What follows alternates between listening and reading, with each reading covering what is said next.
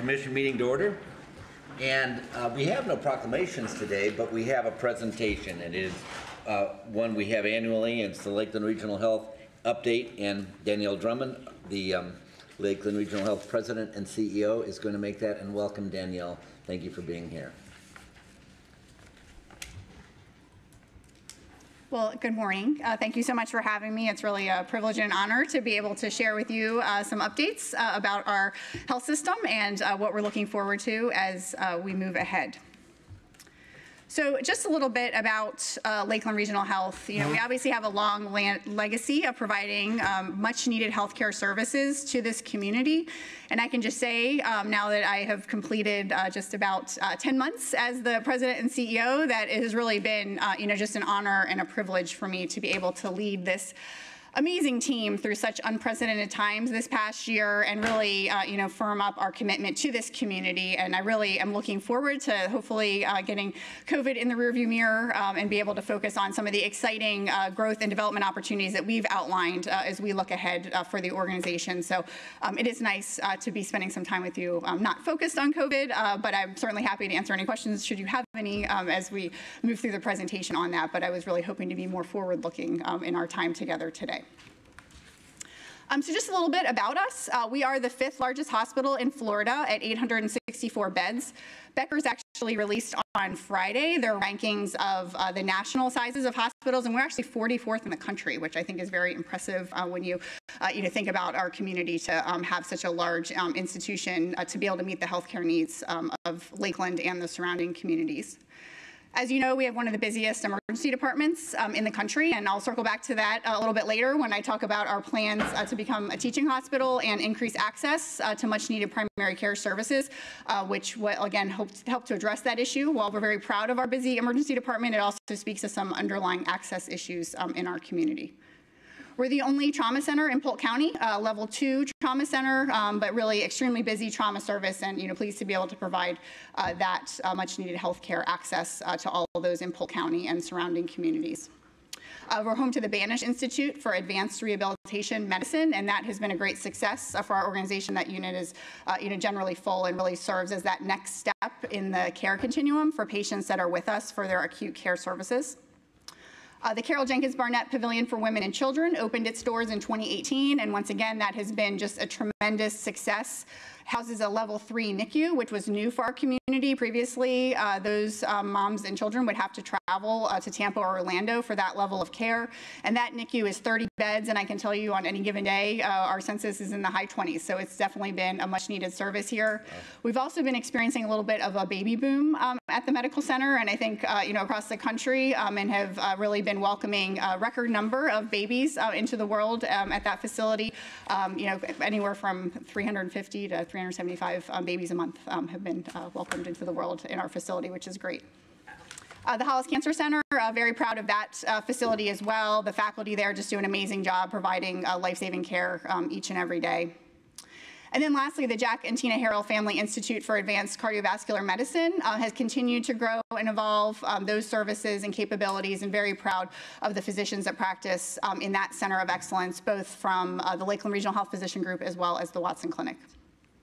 And then a little bit just about our organization and the impact. You know, we have over 6,000 team members. Uh, we're the second largest employer in Polk County. I'll talk a little bit about our economic impact on the next slide. We have uh, close to 300 uh, employed providers within our physician group. So that's a combination of physicians and advanced practitioners. And we have uh, 10 uh, locations across the community to be able to meet the needs. And then you can see on the right side uh, some of the designations and awards we've gotten for the centers of excellence that I just noted. And then we recently completed an economic impact analysis to show uh, the impact that Lakeland Regional Health does have on uh, the local community. So in addition to providing those much needed healthcare services, you can see from this slide, we also have a significant impact um, in the way of jobs and uh, finances um, for all of the services that we provide, not only with our team members, but then for also all of the services um, that we rely upon and the suppliers and contractors um, in our area. And we really look forward to continuing this growth um, as we move move to the future. And one of the key uh, elements and programs that I'll be happy uh, to really officially announce and share with you today um, is related to our plans for graduate medical education. So if we take a step back and look at some of these great capabilities, you know, we're one of the largest hospitals in the country that does not teach uh, physician residents. And we really feel that we're missing out on the opportunity to contribute to that learning of the next generations of physicians. Moreover, we know from looking at the top ranked hospitals in the country that they are all teaching hospitals. So we really feel confident that the infusion of these new residents, the faculty, and the research and education that it brings will allow us to even further uh, the work that we do in these uh, various clinical services. And then there's the access. So I talked a bit about, uh, you know, our high visit emergency department, which is not ideal. And it really speaks to the fact that we are underserved. So the third and really most, um, I think, important thing for us to consider as we look at the rollout of this graduate medical education program is it will greatly increase the access to healthcare services for those in our community that really need it the most. As I mentioned, one of the largest hospitals to not have training, we know that we provide a large amount of uh, charity care uh, for those that are not able uh, to afford uh, their healthcare services today. When we look at the number of primary care and mental health providers in Polk County, you can see from a primary care perspective, we have one provider for just over 2,000 individuals in our community. If you compare us to Florida and Hillsborough County, you can see that that dra- is drastically lower, almost half. So they're closer to 1,000 um, individuals per primary care provider. So clearly, we have an access challenge uh, based on the number of providers uh, that we have here currently. And then a similar story in mental health. We're about one per 1,000, whereas uh, looking at the state of Florida and Hillsborough County, that number is closer to 500. So we have a huge gap that we need to fill. And by rolling out a number of teaching programs, we will be able to meet these needs because the medical residents will be able to see these patients in the training environment, and then hopefully they will choose to stay and practice in this community um, as they graduate um, and move on to their permanent positions in the medical field. So I'm happy to share that we are planning to launch our graduate medical education program on July 1st, 2023. We've been working um, on this for many years, as many of you know, and really happy to be able to have cleared a number of the uh, hurdles that were in our way to be able to bring 190 residents across eight programs uh, to this community. You can see on the slide uh, here and on the next couple slides I'll share with you, a number of these faculty are already here in this community, so they'll both practice within the Lakeland Regional Health Physician Group, but also uh, be leading up uh, these uh, graduate education training programs. First is Dr. Finnegan. She is the designated institutional officer, which essentially is the physician that is over all of our GME um, efforts. She's also acting as our interim internal medicine program director um, as we uh, work to recruit for that position. That will be actually based across the street from the hospital at our current family health center and will allow us to be able to see patients both in the outpatient and inpatient setting uh, for the residents as a part of that training program. Dr. Finnegan's a nephrologist, and she's also seeing patients here locally. In addition, uh, we'll be starting a psychiatry program. You can see Dr. Aline is the program director for that. This will be housed in our new behavioral health hospital, which I'll talk about a little bit at the end of the presentation. We'll also have an emergency medicine uh, training program. Dr. Barbera is here and on board, already working in our emergency department, and obviously having one of the busiest emergency departments in the country will be a great training ground uh, for the next generation of emergency medicine physicians, seeing patients both in the adult um, and the pediatric emergency departments on our main campus. The other programs that we'll be launching include family medicine, OBGYN, general surgery, and a transitional year, as well as a surgical critical care fellowship. Transitional year is essentially a one-year uh, window where a resident that's coming out of, say, internal medicine and trying to determine if they would like to go on into a specialty service would have the opportunity uh, to spend some time um, with us and determine where they want to take that next uh, step on their specialty training path. So very excited uh, to be able to, to offer that in addition to all of these uh, defined specialties. And you can see um, the faculty that we've already hired. Uh, Dr. Davis for general surgery is already here um, and practicing and starting to help us build that program. The other three um, have contracts and will be joining us um, over the course of the next several months. So this is uh, you know, very real. The, the, timeline will be upon us very quickly. Uh, with a July 1st, 2023 start, uh, we'll be um, actually interviewing for residents then in the fall of 2022. So around this time next year, uh, we'll really be in the throes of building that.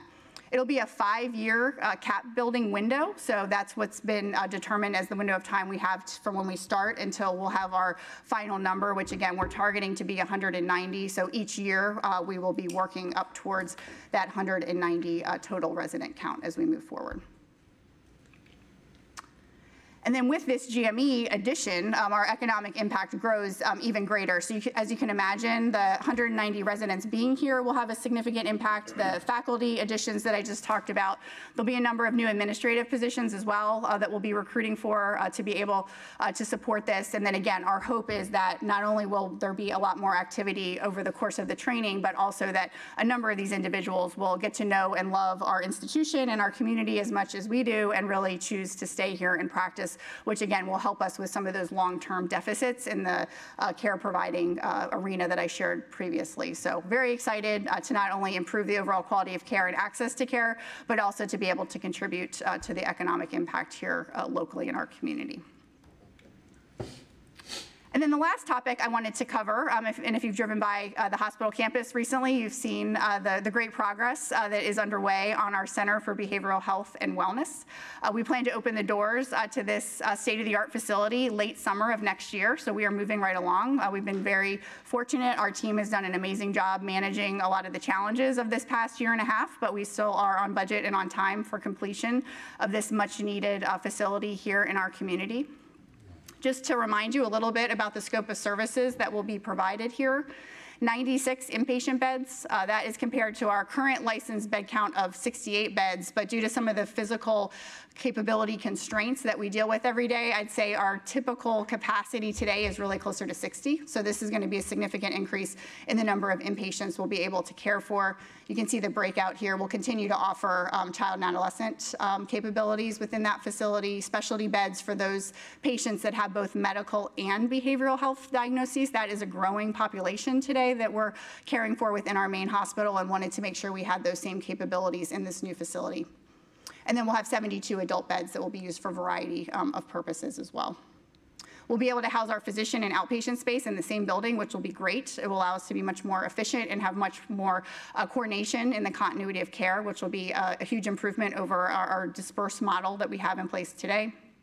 Treatment areas for a number of new programs that I'll touch upon outpatient program and classroom space for education and therapy and to be able to provide more to those in our community um, as well, which uh, again, I'll touch upon in a moment, has been uh, very well received and much needed.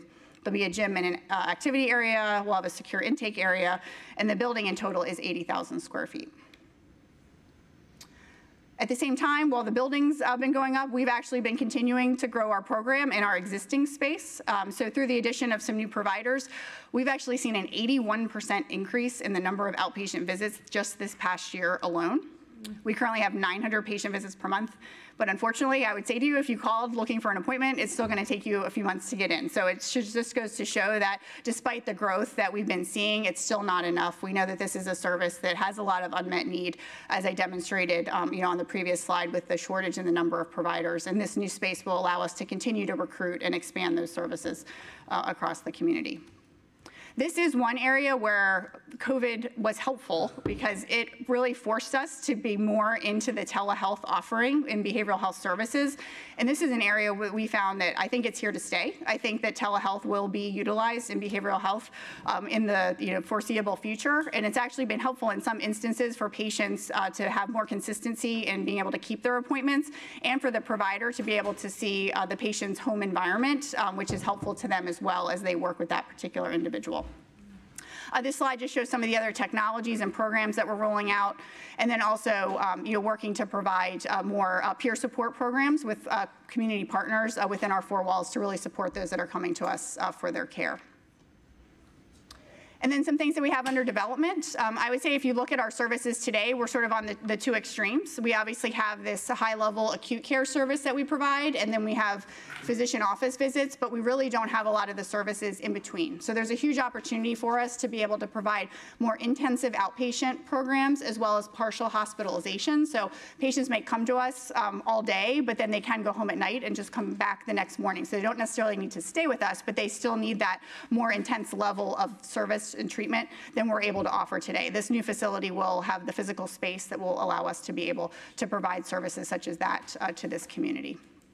And then we're really leaders in the community as well as the state um, and the region on this particular topic. Um, A number from our team have been invited to serve on uh, various task force, the Florida Hospital Association, uh, Polk Vision, and really leading the effort um, as we are able to share what we've learned and help to map out uh, the future as we all work to be able to fill the void on this much-needed uh, service uh, for those that we serve both locally um, and across the state and the nation. I think clearly uh, COVID has highlighted, you know, the need for us to continue to make investments in this space uh, so that we can support those uh, that are struggling with behavioral health issues and to really work to break the stigma um, associated with that as we move ahead as well.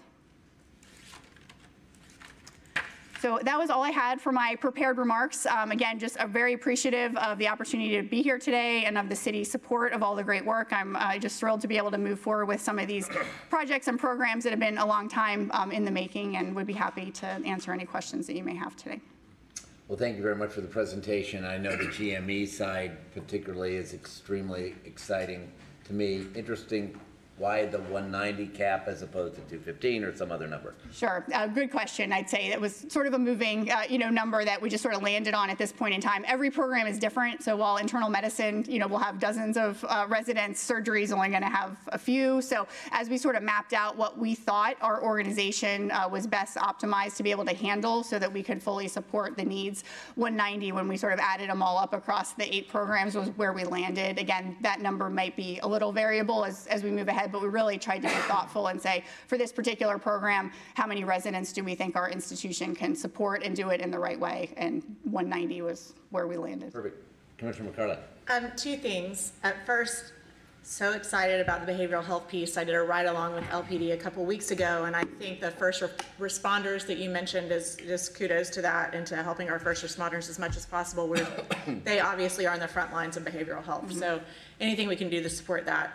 Second piece is since 2012, when I joined Polk Vision, the GME has just been at the forefront of the discussions that we had, even through my Randy Roberts Foundation, working with Congress and CMS and all those different things and the need just for the community at large. The more primary care physicians that we can have throughout Polk County, the better off we will be, um, and in behavioral health as well. So the fact that we're finally to a point, we were limited, just to give you historical perspective, by CMS to have three interns. Um, and so 190 compared to three is like, what? Like, that's just so exciting. And I, and it's hard for me to contain my exciting, excitement and kudos to that. Um, but with regard to the GME, we know that education is the backbone of our economy as well. And so retaining these primary care physicians, I think the onus is on us as a commission to underpin and support, you know, the education system so that these doctors, as they come here and build their families and want to stay, that they have an education opportunity for their students. Um, and our magnet program obviously is a waiting list and a lot of them apply for that. What can we do as a city commission to help you continue to recruit, recruit the best people possible, and support you in that endeavor? Absolutely. I think, you know, as we're very excited to have all the building blocks in place, you know, on the, on the health system side, I would agree. I think the ability to sell Lakeland as a community is going to be critical. So I think the more that we can, you know, work with you all with regards to, you know, how do we want to um, position the community? What are those things that are really important for them to feel like this is home? You know, a lot of them are coming at a time in their lives where, you know, maybe they're not married or they don't have a family when they first arrive, but by the time they complete their training, they might. So I think there's going to be a broad spectrum that we need to consider. And I think it's everything from, you know, housing and um, social networks, education, as you mentioned, um, you know, the, the religious, um, you know, avenues that we're able to make sure that they're aware of so that they really can feel that connection to Lakeland and feel like it is home and where they want to stay and, and build their practice in their career. Because again, the ability to have access during the training aspects to these uh, programs will be important, but I think the more that we can also attract and retain uh, these physicians, regardless of who they want to join which practice in the, in the community, but just their willingness and desire to stay here is going to be critical. So yes, I would you know love to continue the, the dialogue with you all with regards to all the great plans we have going on at the city to make sure that we're able to use that as we are working to, to sell the community to these residents too. Uh, Commissioner McLeod? Thank you, Mayor. Thank you, Danielle, for that update. It's exciting news. I echo the comments about the graduate medical education. I know that's been in the works, and a lot of people have worked hard on that for many years, and that's exciting for the hospital as well as for our city. I know this isn't a COVID update, and it is encouraging, as you and I were talking before the meeting, just to hear some of the, the plans and the things that you all have on the horizon. But as we hopefully come out of uh, the, the peak of the COVID season and all that has happened in the past year. And thank you to you and your entire team, the nurses, the doctors, the people on the front lines for all that they have done for this city over the past year. What would you say are some of the, the main challenges that you all face now as we look into next year and into the future? Yeah, great question. I mean, obviously, we're all hopeful um, that the, you know, the worst is, is behind us. It's been uh, uh, certainly not a, a journey or a path I was able to predict, so um, I'll definitely put that caveat in there. It threw uh, several curveballs my way and, and the team's way, I think, just with the uncertainty of how these, you know, ups and downs have occurred. Um, But I am hopeful um, as we go into the, the winter months that, you know, the, the worst is behind us, but again, that will remain to be seen. I think it's just knowing that we do have, though, still a lot of patients uh, that require care. So how do we work to make sure that we're continuing to provide, you know, the best possible care, ensure that we have, um, you know, enough uh, care team members to be able to provide, you know, that care. Obviously, our team has done an amazing job over the last, you know, almost two years now, but it's been exhausting, you know, work for them. So I think just continuing to do what we can do to support them and make sure that we're keeping a robust team in place uh, will be important. And then just working to make sure we're continuing to meet the needs of the community. I talk, you know, a lot about the access in primary care and behavioral, which is very important, but there's also many other services that we want to continue to, to grow and develop here locally so that no resident has to leave the area for their healthcare needs. They should be able to um, access what they need at a facility as large as ours. So that's really going to be a, a continued strategic um, effort and focus for us as we move ahead. Commissioner Walker. Thank you, Mr. Mayor, and, and good morning. Good morning. Sorry for being a little tardy, but thank you for uh, always coming to provide us an update on what's going on at uh, Lake Regional Health and mentioning so our residents would not have to leave outside of Lakeland to, to have the particular care they need to have. And speaking of a couple of entities coming into our community, uh, could you give me your take on, on how you, th- you look at that and, and how that may play out, especially with the growth of Lakeland and how our community continue to expand, grow, population grow, needs of, uh, or whatever health uh, situations are may, uh, expand as well? Sure. Um, Yes, obviously, it- Lakeland's a growing area. I know it's a desirable market um, for expansion, and when the certificate of need went away uh, back in 2019, you know, we anticipated that there would be new entrants um, into this market. So I think what we're continuing to work on, though, is to make sure that we can provide those necessary healthcare services. We've been in this community for over 100 years and want to make sure that we're providing all the services, you know, not just, uh, you know, those that are maybe going to be the most profitable, but rather those that are really much needed here. We are the safety net provider, so we're definitely staying strong to those things, such as, you know, behavioral health and uh, some of the other services that are uh, not going to be as maybe financially attractive, but are really much needed services here locally. So we'll continue on that front. And I think just given our size and the capabilities that we have, we know that we're going to be able to continue to provide those higher level uh, services and care uh, for this community. So I think the, the work that we're doing in GME will be critical to that because I think that additional infrastructure and care providers at the bedside will allow us to continue on that path as we move ahead. So yes, you know, again, competition, uh, you know, kind of is what it is. We know that, uh, you know, we'll need to be prepared for it, but I feel strongly that our strategic plans and all of the, um, you know, things that we've laid out as we move uh, into the future will position us well to continue to provide the healthcare services to this community that are needed. And good to hear that, because I think uh, our citizens need to know that, you know, the- what we call our hospital has been around how many ever years, as you say, 100 years plus, and, and knowing that uh, what we're doing to support whatever their particular health needs may be, we have it right here as well, and have had it, and will continue to have and be strong in delivering the kind of services we need to have. So thank you, Ms. Drummond. Sure, absolutely. Yeah, and I think that, you know, again, I- the other comment I would just add is, I think when you look at the size and the capabilities, obviously, it does, it it is something to uh, consider with regards to some of these emergency services. So I think having a, you know, very robust stroke team and uh, chest pain team, et cetera, does allow us to be able to provide excellence in the outcomes for the patients that come to us for that type of care. Thank you. One last question, staffing needs. Um, During this whole period of time and having to bring in a lot of people from the outside as well, as you felt, just give us kind of a scope of what you see happening n- now and in the next three or four years.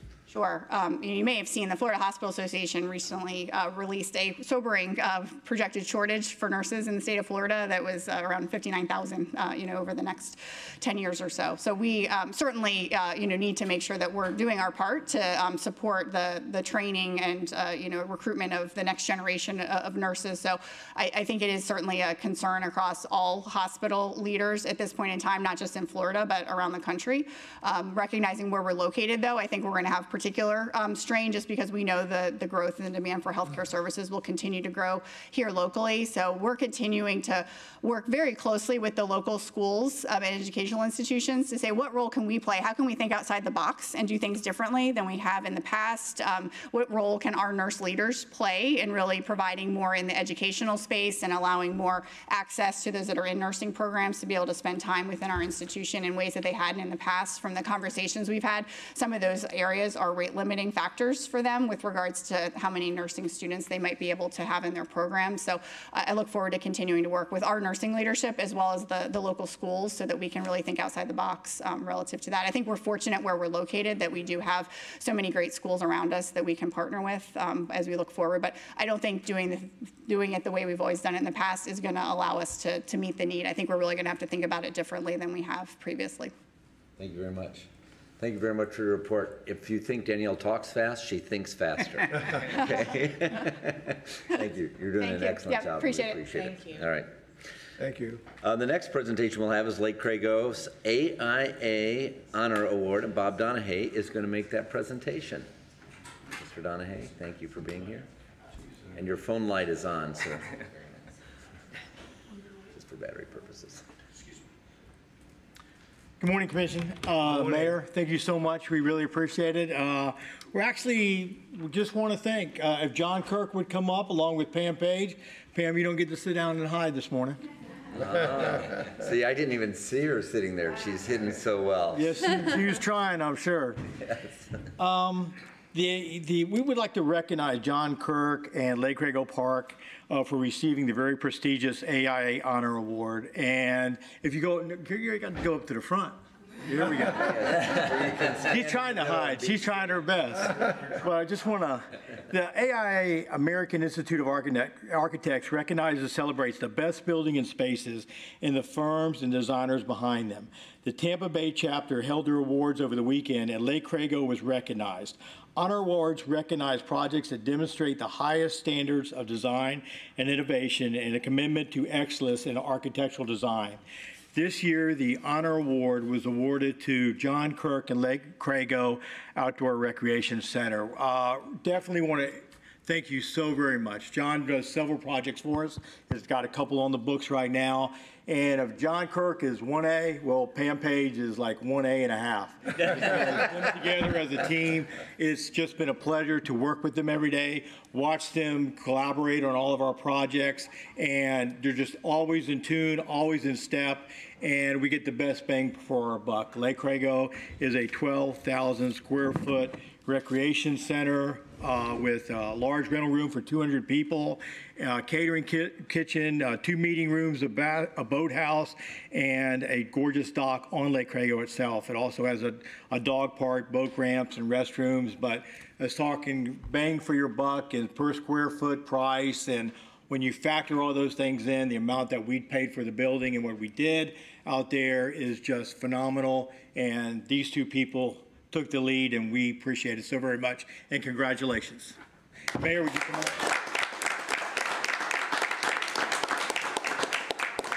You know, when you think about what that could have looked like and just been normal, that's what most places would have done.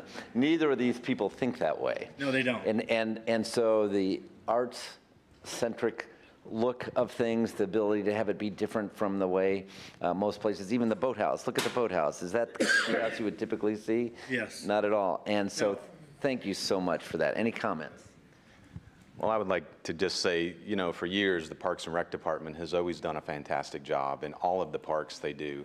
And so for me to just be a part, a small part of this, I'm, I'm grateful for the opportunity. But then also just being able to take their vision, they've had the vision for years, and to be able to craft that into a facility that I think will serve the residents of Lakeland for a long time coming, I'm just thankful. So thank you for the opportunity. That's going to you, Pam. No, no, go ahead. John. Um, We just love working with you. You're so creative, and you take our programs and just make them zing, and everyone is completely different and unique. Mm-hmm. And we just look forward to future projects working with you. Thank you. to let you know how much he liked the facility that was developed, his daughter got married in it. Was that the first wedding in there? I think it was the Third wedding, third, it's very close. So, And of course, humble John didn't bring the award.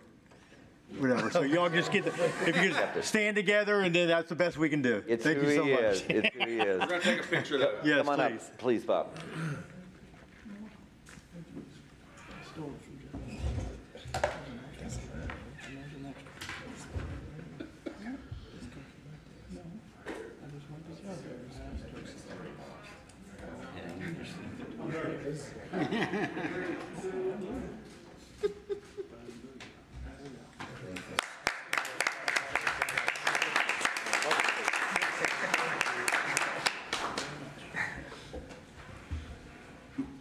That was fun.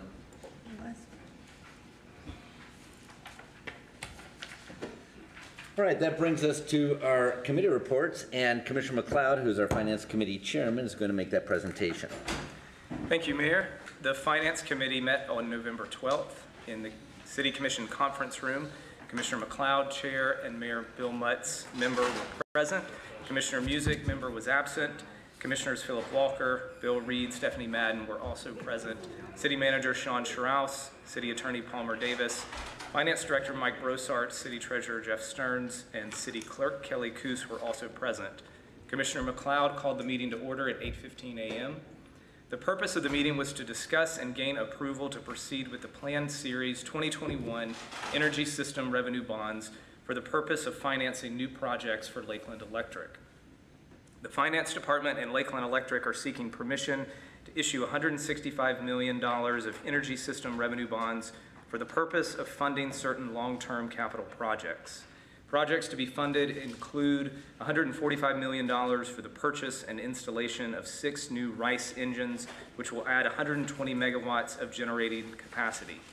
$12 million for the construction of the Hamilton substation in southwest Lakeland, $5 million for a hot gas path upgrade for the MGT2 unit, and $3 million for miscellaneous production projects.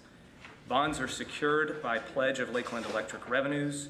Lakeland Electric bonds are rated in the AA category by Moody's, s and P, and Fitch.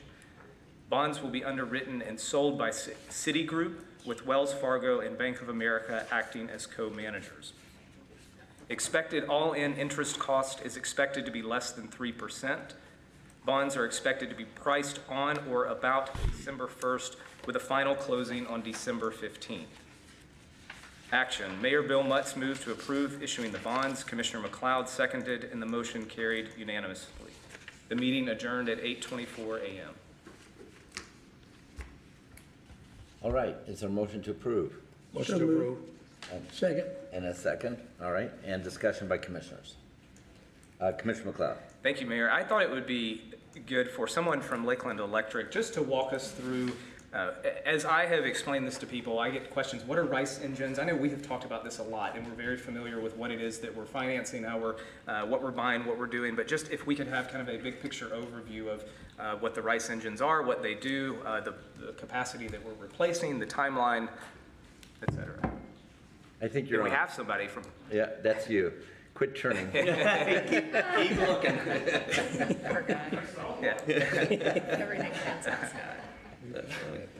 Scott Please Bishop, introduce man- yourself. Manager of um, Emerging Technology. So a race engine is similar to that on a cruise ship. Um, Long stage, multi-cylinder, fast-starting, capable, versatile engine that they're going to, we're going to stack in um, combination that allows for high energy efficiency, um, good throughput, good M- MBTU output, and then those in congruency create a lot of megawatts. So we're, it's a cruise ship engine used as a um, electric energy generator, right? So you take the output of it, instead of pushing a cruise ship, you're pushing energy onto the grid. That energy is used for lights and air conditioning and all that. Powered by. Powered by. Powered by, in this case, natural gas with a 20% capability of doing hydrogen in the near future. So that gives us flexibility forward. Absolutely. And Scott, can you remind us the timeline of when these, when we expect to have them, install them, and have them online? So they're in the, in the process now. Um, I think it's a late '23. Um, Could be early '24. So, wait, it, it takes a minute to put all that stuff together, so. Thank you. I think it's good to keep this out in front of people. I know we have talked about it so much, it's old news, but I still, as, as I talk to people, I'm sure my colleagues as well, They're folks who don't- don't, understandably, it's, it's difficult to know, what is this and what are we replacing and when does it, how does it work, when does it happen? So, thank you. So it creates 120 megawatts of power, and they are uh, loaded as you need them, and they are, uh, they produce electricity in about two seconds.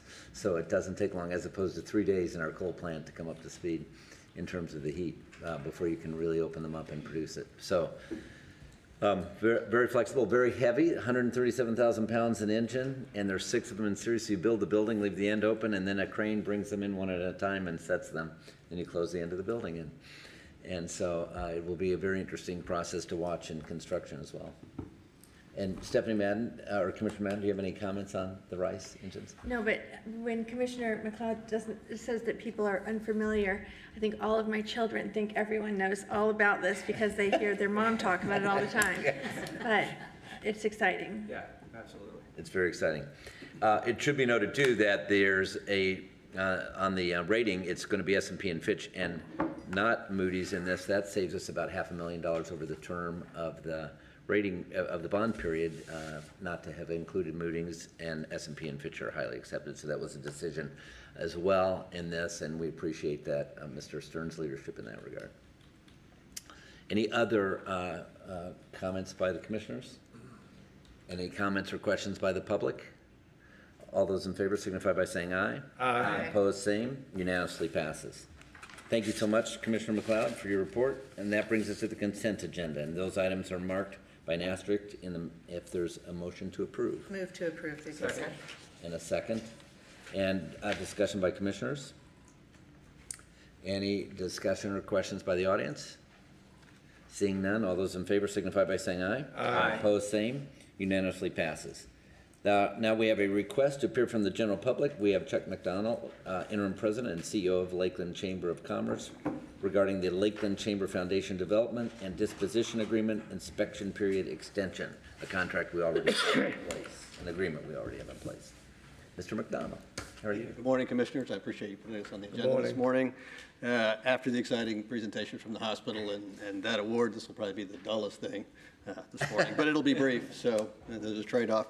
Uh, The Chamber has been working on building a facility for us to conduct a lot of uh, workforce education and training, and it's been going on for a couple of years, and and we just hit a little bit of a pause during the COVID time, just slowed down some of what we're doing, and the agreement that we have with the city has some timelines in it. So I think you all got a letter in your materials of, of a request that we extend this for a year, and I, and the city manager, I believe he briefed on Friday.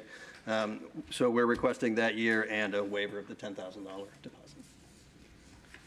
So what this does is takes the existing um, agreement and adds a 12-month extension to it into the inspection period, buying you some organizational time Yes, to continue the project full steam ahead. Absolutely. Uh, Is there a motion to approve? Motion to approve. Second? And a second? A discussion by commissioners. Commissioner Walker. Thank you, Mr. Mayor. Well, thank you, uh, Mr. Interim President. And I, I'm glad to know that even with, uh, the movement that you have afoot to have the, uh, works, as we call it, come, come about and come out of the ground, that it will continue. And, uh, make sure that it gets done and of course, em- embrace all the things that you will share with us, you know, from the previous, uh, I guess, uh, um, uh, president and, and, and board. And I'm glad just to know that it will continue, It will still be one of the things that you will work on to make sure it happens. And I'm glad to know that, uh, you step into some shoes and make sure it gets done as well. And if you need the extension, of course, what we're hoping to approve here very soon, very shortly here, uh, that will help you make, you know, things happen and come about. Thank you, Commissioner Walker. And just to let the commission know, we are full steam ahead at this. And uh, we have a new foundation executive director, Connie Bamberg, and she's leading the charge on this, and we're excited to have her on board to make that happen. Thank you. Excellent. Any other uh, comments by commissioners? Any from the audience or questions? Seeing none, all those in favor signify by saying aye. Aye. Opposed, same. Unanimously passes. You have that 12-month extension, and that, we have no equalization hearing board meeting, and that brings us to public hearings, item 3A1. And our city attorney Davis will cover that. Thank you, Mr. Mayor. We have uh, several ordinances for second reading and consideration of adoption this morning. First is proposed ordinance number 21-051, an ordinance relating to local government comprehensive planning, making findings, providing for small-scale amendment uh, number LUS 21-002 to a certain portion of the future land use map of the Lakeland Comprehensive Plan, our community 2030, changing the future land use designation for- uh, designation from convenience center to to, uh, conservation on approximately 8.23 acres, and from residential low to convenience center on approximately 6.29 acres of property located north of the Polk Parkway, east of Airport Road, and south of Steeplechase Drive, providing for severability, providing an effective date. Move to approve. Second. Motion approved in a second. Discussion by commissioners? Hearing none, we talked about this a lot at the, oh, Commissioner McLeod. Thank you, Mayor. I was just going to ask Chuck Barmby, 'cause you said on Friday, you, you pointed out that this change actually has less of an impact on traffic and Airport Road than the original um, zoning agreement, and development agreement. I just wanted you to say that again and just reiterate that for us. Um, Good morning, for the record, Chuck Barmby, Community and Economic Development. Um, Because with this land use change, we we will actually uh, end up with about two acres less of commercial than what exists today. It will, by default, result in a lower trip generation, so, uh, you know, we still have to go through the formal concurrency determination process at the time of site plan submittal, but from a land use perspective, this will have a smaller amount of commercial than what exists today. So uh, we see that as an overall positive for, for traffic in that, in that airport road corridor. Appreciate you bringing that up. Yeah, I just think that's a good point to highlight as we um, move through this. Thank you. Any other comments by commissioners? Any comments or questions by the audience at all? Seeing none, um, this is a roll call vote. Commissioner Walker? Aye. Aye. Aye. Aye. Aye. Yes. Aye. Unanimously passes.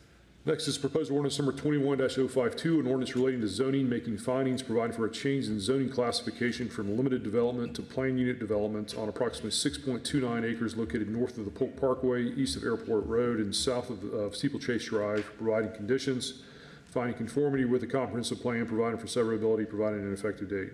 Move to approve. Second. So there's a motion to approve and a second discussion by commissioners or questions? Any discussions or questions from the audience?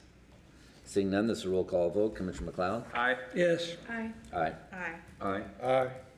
Unanimously passes. Number three.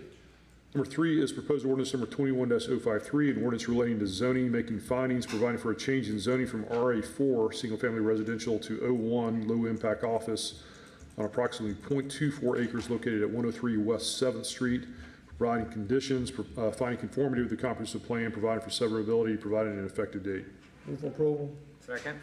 Motion to approve in a second. Any discussion by commissioners? Questions? Commissioner Walker?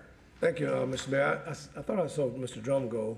He in the ordinance, but he's left. Was in here, but he's not. Uh, maybe Mr. uh, Brian Rewis can answer. I, I'm trying to, it's off, has to do, I guess, with this particular, uh, matter, but of course, there's a property that's adjacent to it we've been hearing about. Do you have any idea where we are with that particular property, property called Maggie's, uh, Muffins, Maggie's, whatever? You're asking about Mary's Bagels? Mary's, okay. Bagels. I knew it was an M. You didn't get your breakfast. No, I don't, I didn't have breakfast now. Yes, Mary's. So, so what's the question? Is that, this is adjacent to, right? Correct, this is across the improved alley immediately south of the Mary's Bagels property. And Mary Bagels is uh, where in this s- scheme of things? Are we at a Immediately point, north. are it still going through its They've been approved for CRA assistance and close to approval of their site plan. They haven't submitted for building permit approval that I'm aware of. Uh, We had to work through a number of access issues with DOT, uh, interconnectivity between this southern site and the Mary's Bagel site uh, to make both of them work. Uh, But that's a part of what led to the request from the CRA to rezone this parcel. Yes, yes, okay. All right, thank you. I want to make sure I had it in my thoughts. Yes, sir? Appreciate it, sir. Any other comments or questions by the commission? Any by the audience? Seeing none, this is a roll call vote. Commissioner Walker? Aye. Aye. Aye. Aye. Aye. Yes. Aye. Unanimously passes as well. Uh, Last ordinance for second reading is proposed ordinance number 21-054, an ordinance relating to zoning, providing for planned unit development zoning on approximately 10.45 acres located west of Airport Road, south of the Polk Parkway, and north of Carolyn Boulevard to allow for a 148-bed assisted living facility, providing conditions, finding conformity with the comprehensive plan, providing an effective date. Move to approve. Second? Motion to approve in a second. Uh, Discussion by commissioners. Uh, Commissioner Musick. Yeah, I think so. I think I have a question. I just want to pull down. This was the parcel that does not have access through, that was the, that's the parcel that does not have access through Carolyn Lakes. Correct. Is You have to okay. come from Airport Road. All right, thank you. Good question. Any other questions? There it is. Uh, Any questions or uh, comments from the audience? Seeing none, Commissioner Walker? Aye. Aye. Aye. Aye. Aye. Yes. Aye. Uh, Unanimously passes. Thank you very much. That, we have no Community Redevelopment Agency report, and that brings us to 5A from our city manager, Sherrouse. Thank you, Mr. Mayor. Uh, Five items for presentation this morning, and then I do have a couple of uh, of verbals uh, at the end, uh, if the commission will allow. Um, The first item that we have is uh, regarding a a renewal of the city's long-term disability coverage. Uh, The city's current uh, contract for long-term disability coverage is due for renewal on December 31st, 2021. Long-term disability insurance protects an employee's family income in the event that they are unable to work after a six-month waiting period related to a disability. The long-term disability uh, benefit covers all full and part-time regular employees who may be injured or have a serious illness. We're at the end of a three-year rate guarantee with our uh, current provider. The renewal they offered to the city to hold the current rate was to uh, either add an additional benefit or accept a rate increase per employee per month for every $100 of payroll, uh, the increase would equate to a 17.62% increase in the premium. Uh, Risk Management requested that our broker, Gallagher Benefit Services, would market the coverage to seek competitive pricing. They did, and they provided uh, six carrier options for review. Those have been included to the commission uh, in the agenda item. And as you will find, uh, Voya was the lowest uh, annual cost, and so it is recommended that the City Commission authorize the appropriate city officials to contract the long-term disability coverage with Voya. It would be effective January 1st, 2022. It would have a three-year rate guarantee, and it would have an approximate total annual expense of $229,349. Is there a motion to approve? Motion to approve. Commissioner Walker and seconded by? Second. Commissioner McLeod. Thank you for our bookend approval. Uh, Discussion by commissioners. Any by the audience? See- Seeing and hearing none, uh, this is a voice vote. All those in favor signify by saying aye. Aye. Opposed, same. Unanimously passes. Item B. Item B is a recommendation regarding renewal of the city's uh, health plans stop-loss reinsurance coverage. Voya is the city's current carrier for the city's health plan stop-loss reinsurance coverage. The current contract is due for renewal on December 31st, 2021. Stop-loss reinsurance provides reimbursement to the city on any single health claim that exceeds $435,000 in the calendar year. Um, A summary of the claims versus the premium paid over the past two years, as well as year-to-date for the current 2021 period has been provided to the commission in the agenda item. Voya has proposed a 7% increase to the current rate at $35.04 per member per month with an enrollment of approximately 2,600 employees and retirees on the plan for an annual premium of $1,093,248. It's recommended that the com- city commission authorize the appropriate city officials to renew the stop-loss coverage with Voya effective January 1st, 2022, as presented. Um, And is there a motion for approval? Move to approve. Second. Commissioner uh, Musick and then seconded by Commissioner McCarley and discussion by commissioners. Uh, Commissioner Musick. And I apologize, it might be here, I'm trying to read it. Is this a yearly contract? How often is this contract? We'll ask uh, Ms. Diaz to answer that. It doesn't refer to the term. Good morning, Joyce Dias, Risk Management and Purchasing Director. It is an annual contract where we go out and market it, the broker does each year to make sure that we get the best market price for the coverage. So how, how, I mean, if it being a yearly contract and with as, as vast as the employees are and the, the needs and things, when do you start that process to be able to make sure you get those responses back? And is a year pretty typical? Every year is different. Um, We're seeing a big n- growth in the numbers of claims that have exceeded the stop-loss amount. So this year, for whatever reason, we have quite a few. It tends to cycle that way, but we'll start looking about August, September timeframe. And sometimes what the stop-loss carriers will do is they'll ask to see the claims, say, through the end of September. So then we're kind of on hold, waiting for them to respond back based on those numbers. Okay, thank you. You're welcome. Any other questions? Any questions by the audience or comments? Seeing none, uh, this is a voice vote. All those in favor signify by saying aye. Aye. Opposed, same. Unanimously passes. The next item is a recommendation regarding the city's on-site employee wellness clinic management services. HealthStat Wellness, doing business as Everside Health is the city's current on-site employee wellness clinic management contract. The HealthStat Clinic was established in 2007 as one of the first on-site employee wellness clinics in the state of Florida. The current contract has been an automatic renewal each year. However, to ensure the best market pricing for uh, the city, risk management and purchasing uh, took the opportunity to review an RFP that was put out by Polk County to ensure that we were receiving uh, competitive uh, pricing and services. Uh, the city uh, does utilize our uh, Health Stat Employee Wellness Clinic for various things things such as pre-employment physicals, our drug-free workplace program, workers' compensation injury care. We do have an on-site uh, physical uh, therapy clinic there, which assists when we do have um, workers' compensation type injuries in the workplace. There's also disease management programs that are included, and uh, we even have a registered dietitian nutritionist that's available through those services. The HealthStat on-site clinic has provided a validated return on investment which has consistently increased year over year. Our active employee population has a 97% utilization rate, which is well above the 80% benchmark that the provider uh, seeks uh, to accomplish. Um, new services uh, will allow uh, the, the uh, clinic to focus on uh, patient care. There will be virtual and telephone options available for, for those services. All other expenses will be pass-through expenses with no markup to the city. It's recommended that the City Commission authorize the appropriate city officials to negotiate a contract for the on-site employee wellness clinic services with HealthStat uh, Wellness. That would become effective January 1st, 2022, and again, is also based on the RFP review uh, that Polk County put out for their uh, services. That completes presentation. Move approval. Motion to approve and a second by Commissioner Madden, uh, discussion by commissioners. Uh, Commissioner Read. What are, what is our present cost per year? Do you know, do we know what our cost is per year right now?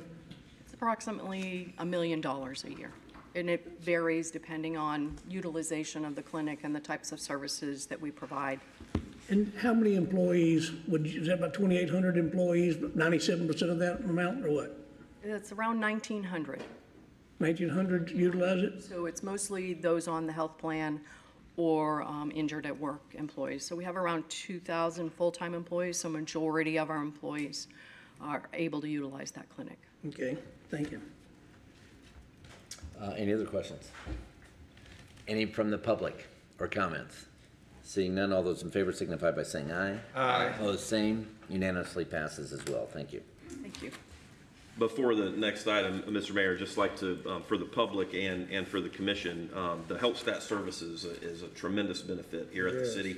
Um, We see a lot of our employees who have on-the-job injuries uh, return to work quicker because those services are available, and the ability to access those here in the workplace um, also certainly helps us keep uh, our health insurance costs down. So uh, it's a, it's a great benefit and has worked well as the utilization rate demonstrates in the agenda item. Excellent. The next item uh, that I have for presentation is regarding a recommendation for task authorization with Geosyntec Consultants for Stormwater Best Management Practices Design Manual.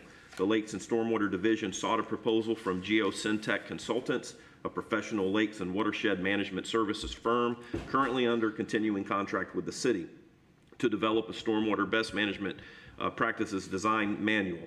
The manual will be used to identify the most appropriate best management practices for stormwater management designs, aspects of future development and redevelopment within the city. The ultimate goal of the Stormwater Design Manual will be to implement new practices supported by city code that will reduce the discharge and pollutants and stormwater runoff resulting from new development and redevelopment uh, areas. The manual will include uh, practices uh, and new technology such as low-impact development and green uh, infrastructure processes. Um, These uh, strategies will assist the city in areas developed prior to stormwater regulations and anticipation of increased growth. A scope of work uh, for the design manual has been uh, included as part of the task authorization and in the agenda item provided to uh, the commission. Funding for the stormwater best management practice design manual in an amount not to exceed $180,301.04 is provided in the fiscal year 2022 stormwater utility CIP. It's recommended that the city commission authorize the appropriate city officials to execute, execute a task authorization with Geosyntec Consultant for stormwater best management practices design manual as presented in the amount not to exceed $180,301.04. Motion to approve? Second. Motion to approve in a second, and Commissioner Musick has a question? So what are we using currently before this was being developed? What is our best practices? I'll ask uh, Lori Smith to address uh, the questions from the commission. You've had an engineering, but not best practices.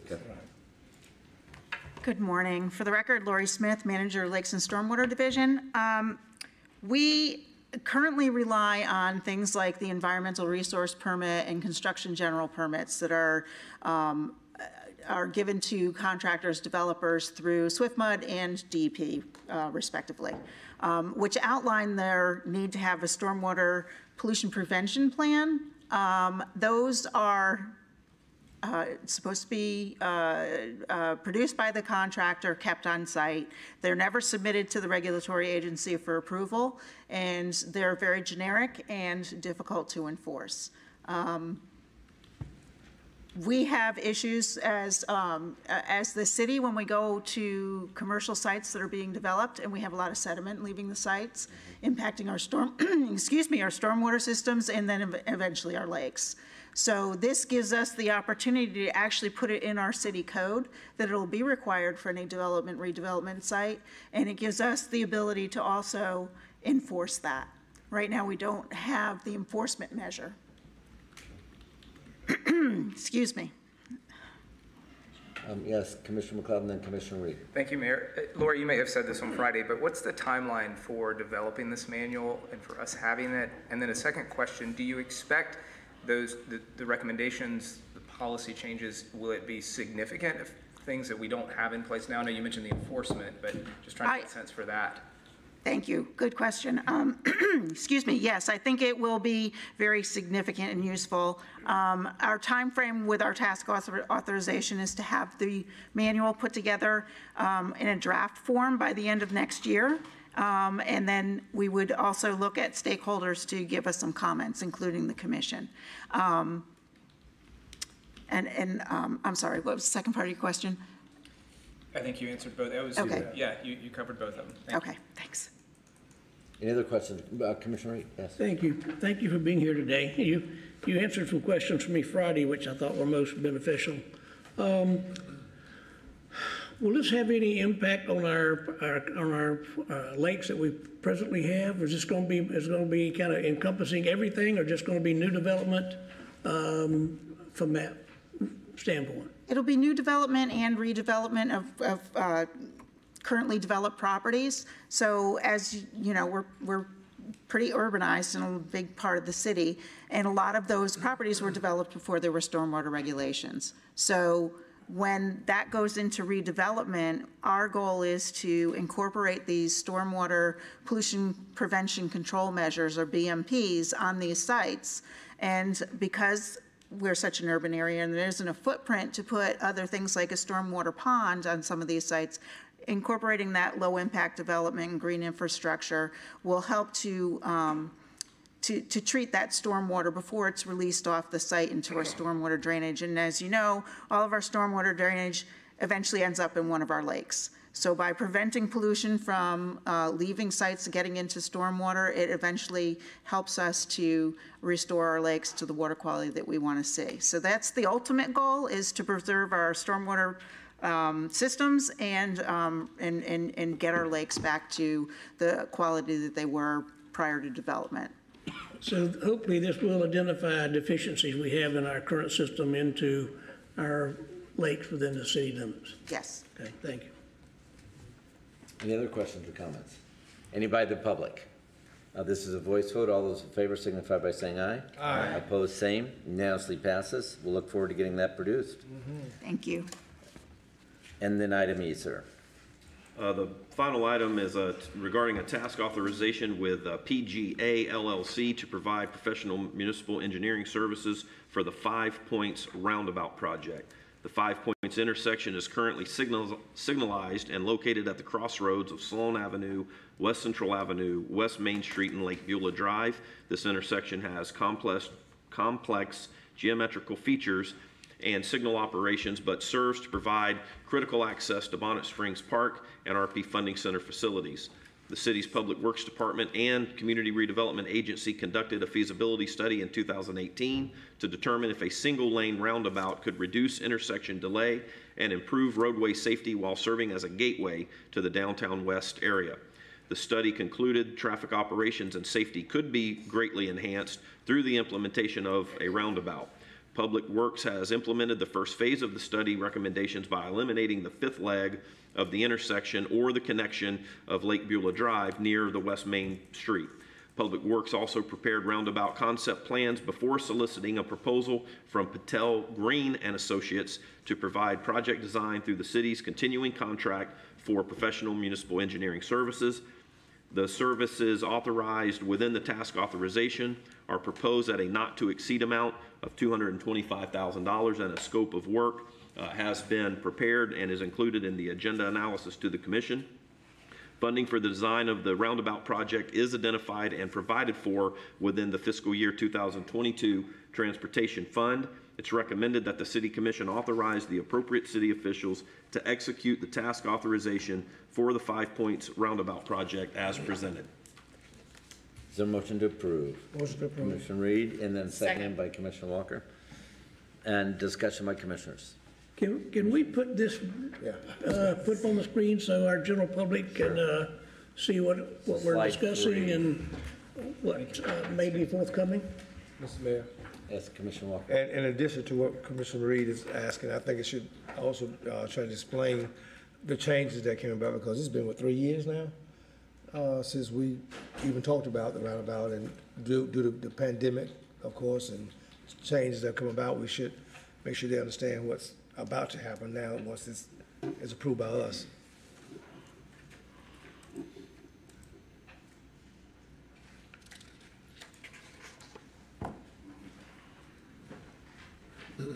Chuck, if you go to the agenda item, you you can pull it up. Go to lakelandgov.net. There we go. Upside down, but otherwise good. Depends where you're standing. Good morning. My name is Ryan Lazenby. I'm with the Public Works Engineering Division. As uh, the city manager indicated, we began with a feasibility study in 2018 just to look at the feasibility because of the roundabout. This has always been a relatively complicated intersection. And it's because of the geometry that exists in the intersection, it has to run in what we call split phase, which means you can only let one leg go at a time. So the average uh, cycle time is 170 seconds. Uh, The max cycle time during peak time is 220 seconds long, over three and a half minutes. The roundabout analysis indicates the average delay time during those peak hours is reduced to nine seconds, from three and a half minutes to nine seconds, which is critically important as the, as the Bonnet Springs Park develops. Right now, during that PM peak hour, traffic actually backs up going southbound from Sloan Avenue onto George Jenkins Boulevard. So what we did is we started with that in 2018. One of the recommendations that came out of that was to eliminate the fifth leg of the roundabout. So if you look at the picture above, you can see a concrete cul-de-sac. That was our first steps. So Public Works did that about a year or two ago with in-house des- design and with in-house uh, construction forces, and we got that out of the way, which further increases the efficiency of the roundabout. And then after that, we are like, okay, it works from a traffic operation standpoint. We've done the traffic modeling. Now let's see, because it's a very tight corridor. We've got the bridge on the, on the north side of it, and we've got the lake on the south side of it and all the spider web intersection coming in. Can we feasibly do this with, with the geometry? So we moved, to, next step was to move forward with actually what we call a performance check plans where we look at fastest path vehicle swept analysis to make sure we can get the vehicles we're anticipating through the intersection and we determine that. And that's where we got to here. So we're, we're at that point, we're ready to move forward with full design, which we're uh, looking at about a six-month design window. All right, technically making it four points today. Commissioner Musick. So is the, is the main reason to develop this just because of the complication of it? I mean, or it is the traffic, it's a combination, I mean, what's the, what's the real impetus? I mean, I used to have an office right over there and the, the, the traffic wasn't unbearable, so I'm just curious what was the original? So the, the traffic, it, it is level of service asked for a failing intersection today during the PM peak hour. And uh, Ch- Chuck, if you could flip that back to the previous page. It shows a little bit more. Zoom out. Let's zoom out. Um, So you can see the roundabout there on the north side of the lake, but that distance between George Jenkins Boulevard, which is on the north side of the bridge, to the roundabout is only about 360 feet. And currently, without even the park open, that thing backs up during the PM peak hour. And we've asked DOT to start to look at alternatives to improve the intersection for the park access. And one of those that was being kicked around was a roundabout, which cannot be done unless we clear out this intersection first and, uh, and remove that backup. Uh-oh. You, you got another question, I can see it. Yeah, Go ahead. So, and I know that, that we don't, that we don't, you know, have any power over the railroad itself, but that is certainly an issue. How are we? So we, you know, so, you know, we, we've got, you know, we got two things we're gonna work on here, but we still got the, So, so Chuck and I have had some preliminary discussions because we're going to need some help on that one. That's a big dollar item with DOT about one, one of the critical items for us is to get a pedestrian access across to the park one day, pedestrian bicycle access. But we've also had some preliminary discussions with them about the, the bridge itself and the railroad because it, it's got um, some issues. For instance, the standard vertical vertical height you want of clearance is 16 feet minimum. That one's 14 and a half.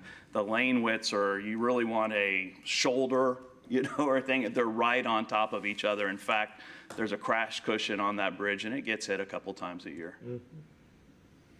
So we are having those discussions, but that's a, a long term. And we would do this independent of them. That's correct. This, Right. Yes. But yes, you're absolutely right. Other comments by Commissioners, Commissioner Mann? Yes, so I'm hoping um, that we're, you know, looking at things like Elon Musk third generation boring technology, things that are gonna create a tunnel a lot cheaper and expedite this access to the park. um, And not just wait on FDOT to come up with how to figure out how to move the railroad. So um, this is a really big, big problem to me. I think that everyone in the city, you know, maybe, you know, only went through that bridge unless, if they had to for work. But with the park there, that is our access to the park for that entire neighborhood. I mean, that entire, and so to me, however we can prioritize this, you know, be a squeaky wheel, whatever, figure out new technology. I mean, this cannot wait. I mean, if we have a failing intersection now and we don't have that park open, I mean, have we done a traffic study on, on what we think about people going to the park from that direction? And then also certainly with the pedestrian bike is a must to be able to get to that park. Um, and, and for the record, Chuck Barmby with Community and Economic Development. As part of the Bonnet Springs, um, development review, um, the applicant did develop a traffic study for the, uh, for the entire site through build out. And so from a level of service standpoint, really all that was needed at George Jenkins Boulevard were some signal modifications and the addition of a, of a westbound right turn lane. Because we do have some right-of-way constraints there, there was really the inability to extend that eastbound left. And so one of the things that in working with DOT and the applicant that we put in um, was the, uh, the need for an event management plan, which is very similar to what we required with Southeastern University in their new stadium. Because of the unique characteristics of that park, there are going to be times where we may need uh, law enforcement, we may need some other type of traffic control to be able to handle that inbound, outbound. But ultimately, um, a roundabout or something more substantial is, is, is going to be needed at that intersection. Well, and I am serious about the, the tunneling construction question, so I'd love to hear if that, I mean, are we not doing much of that in Florida? We're too shallow with our, or is that a possibility? Are people looking towards more tunneling when you have an urban, you know, landscape to be able to provide transportation? One, one of the good things that we received from DOT, and this was a few years ago, the previous district rail administrator provided us with a design, uh, design plans and the actual construction details for a very similar location right next to DOT's headquarters in Tallahassee.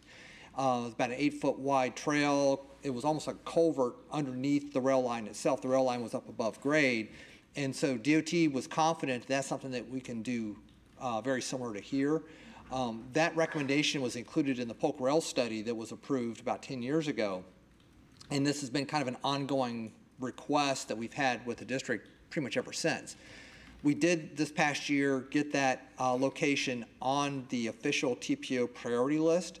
And I think that's something that as we start getting towards um, next winter and into spring, when the priorities are reestablished again, then it's an opportunity for the, for the commission and the, and the city as a whole to demonstrate the, the need for that, um, that, that pedestrian facility to be constructed and prioritized and actually programmed the DOT work program. The dollar amount we saw was about a million and a half dollars. So as everything goes and, and given what DOT is adding to the work program now, a million and a half is nothing compared to the hundreds of millions that DOT is adding on other projects that never went through the DOT pro, or the uh, TPO prioritization process. So that's something I think we can use to, to keep, get some momentum going on this. Uh, Commissioner Walker? I think, you know, Mr. Mayor, uh, thank you again, that many of us forget, because I guess history. Um, when the Moorhead, the African-American community was imploded, the only way we, we could traverse again to Moorhead, you had to go over. But of course, now you see it's, it's tunneled. So that was many years ago when that happened. But uh, I, I can agree with you, uh, my dear colleague. That was something that, you know, we did back then. So it can be done because I can remember as a young lad growing up, the way I got into Moorhead was I had to go across the road that we see now, could we call Sikes Boulevard and all that. Mm-hmm. That became what we, we have now after that community was imploded. So we know it can happen. It's the cost can be involved in doing it. Oh, Commissioner Musick, you had another? Yeah, well, I just had a question, because I, I- because of history and not being in that area, is, is there a lot of foot traffic now? We did a count. There's foot traffic, bike traffic. That's how across. Um, a couple of years ago, in anticipation of this becoming a higher priority, uh, traffic, city traffic operations for a week uh, period had a video camera trained on this on this intersection, and they were counting about 60 plus pedestrians and bicyclists a day going through this going through this tunnel. And so um, that really demonstrated a very high demand because if folks are, are using it today, as dangerous as it, It's as it dangerous, right. really is, um, imagine if you have a have a and that's before the park even opens. The demand is only going to increase from there, and so there there's definitely some some some demand that's been documented by the city. Commissioner Musick? Well, just to follow up on that, then, so, so we're envisioning that when the park is completed, more people are going to ride their bike there, is that what we're saying? So, I- and I'm, I'm just, again, I don't live in this area, but where are these bicyclists coming from? There's a school, Blake's there, the whole neighborhoods, I mean, it's a huge neighborhood. And you have, you have. If you come up Lake You have, Hunter. you have the Twin Lakes. Yeah. Is the new, uh, the last Yeah, our new housing authority. uh, housing. You'd go, you'd go right by Blake to, to Yeah. get there. Um, uh, Commissioner McCarley? And this, just for Commissioner Musick's standpoint and kind of explaining, this will also help us with our connectivity that we have talked about, how parts of our northwest district have been um, kind of cut Separate- up, no, separated. Yeah, with big roads, like when you look at Kathleen and Sikes coming down, that's a major thoroughfare, as well as George Jenkins Boulevard. So to get more people connected, not only with vehicle traffic, but with multimodal transportation, it's really important to do this. And I don't know if you all talked about this, but if you want to talk about that roundabout on the north side too, that's gonna help filter into the park and also, and George Jenkins, just so you know, that street is a failing road as well, because it's so narrow, it's sort of like South Florida was through Dixieland, it's, you know, well, you've driven it, I mean, there's no buffer on either side, there's no median in the center, so until it opens up at Strain, or like, or Brunel Park, uh, Parkway, it's pretty treacherous for about a mile in there. It- It'd be the way you drive to the park, Mike, from your Yeah. house. Okay, thank you. Can I ca- clarify one thing? Chuck uh, had mentioned a tunnel would be about uh, a million and a half. That is for just pedestrian bicycle. He indicated an eight-foot wide thing, eight-foot wide tunnel. It'd be significantly more to do vehicles, and there's more complications because we have to address that vertical clearance issue, where you could put it basically at grade with a pedestrian one, but we'd have to go into the ground a couple feet for uh, vehicular traffic, and there is a very substantial gas line in that area that we'd have to deal with. Right. They're always down there. Well, and the safety that would come, so Yeah. say, you leave the bridge as is, the safety that would come by taking the pedestrian and bicycle traffic off of there is going to be Gotcha. dramatic for, because so many people are gonna go to the park that way. That's what we want to have happen. And, um, uh, so it becomes, that tunnel becomes very, very Think of the hotels, you know, just the hotel guests going through there to get to the park. connection too. Right. Okay. Uh, Any other questions, comments by commissioners? Any other comments by the audience at all? Thank you very much for those amplifications. All those in favor signify by saying aye. Aye. Opposed, same. Unanimously passes. Thank you. Mr. Mayor, if I may, for Yes. just a couple of verbals, uh, just real quickly for the um, commission's uh, uh, knowledge, uh, wanted to update you. We have uh, now received our first transfer of funds per the agreement that we have with our Summit Broadband partners. Uh, That was uh, achieved and the city received those funds per the agreement. We've also been talking with Summit and will soon be scheduling an update uh, to the commission. There's been a lot of technical work that's been going on behind the scenes. Um, I believe they have uh, signed on some customers, but they've also, uh, Summit has indicated that they're really to, ready to start um, uh, unrolling their marketing uh, campaign and, and planning. And of course, we will partner with them on that. So uh, before much longer, we'll have an update uh, with our Summit partners here to provide you with more detail on that. Great. But uh, happy to receive those transfer of funds and, and the partnership's working out well. We, we're, we're excited to see more and more opportunities out in the community. Um, the other thing that I wanted to uh, announce is tonight is the Build It Roundtable Yep. uh, that we've all been uh, waiting uh, for and, and was delayed uh, because of COVID. So our Community and Economic uh, Development Department uh, from 5:30 to 7:30 will be having the Build It Roundtable at the Magnolia Building. And as we've talked about before, this is our opportunity to sit down with our customers, uh, a lot of the contractors that work in construction who uh, submit plans and pull permits uh, from our uh, department. Um, This will be an opportunity for us to sit down and listen to them and uh, find out where there are some complications that uh, we can work toward improving. So that's tonight from 5:30 to 7:30 at the Magnolia Building. Thank you. Excellent, sir. Thank you very much. All right, um, that is the end of our city manager section, and that takes us back to our city attorney, six A, or I'm sorry, six B one. 6B1 is proposed resolution number uh, 21-083, a resolution relating to transportation, making findings, approving and authorizing the mayor to execute a locally funded uh, agreement between the state of Florida Department of Transportation and and the city of Lakeland for a Trade Park uh, Boulevard alternative corridor evaluation, providing an effective date. Move to approve. Second. Motion to approve in a second, discussion by commissioners. Seeing none, any discussion by the audience or questions, comments? Seeing none, this is a roll call vote. Commissioner Walker? Aye. Aye. Aye. Yes? Aye. Yes. Aye. All right, unanimously passes. Okay, uh, un- under miscellaneous, we have a construct, uh, construction task authorization with Kamminga and Roodvoets uh, for construction services for the English Oaks Force Main Phase Three, Section Four project, which is a, an ex- uh, installation of a 16-inch PVC force main along Airport Road from approximately the Carol- Carolyn Boulevard entrance uh, down to uh, Drane Field uh, Drane Field Road. This is designed to increase the capacity in that area, particularly the, the existing Polk Parkway force main. Uh, Purchasing issued an invitation to bid for this project and received three bids. Uh, Kamminga and Roodvoets out of Tampa was the low bidder at $1,087,680. Killebrew Inc. out of Lakeland uh, was the second lowest bidder at $1,096,750, which is approximately $9,000 more, which would normally implicate our local preference ordinance. Uh, In this case, the ordinance does not apply, however, because we are using state funds through the uh, state revolving uh, loan fund program. Uh, So we cannot apply a a local preference to this project. Uh, So uh, the uh, Kamminga Roodvoets bid, uh, bid was evaluated by uh, the city staff as well as Chastain-Skillman and determined to be a responsible, responsive bid and also the lowest bid. So it is staff's recommendation to award the construction task authorization for this project to Kamminga Roodvoets in the amount of $1,087,680. Move for approval. Second. Motion approved and a racing second. And they're one of those you want, Ms. Koos.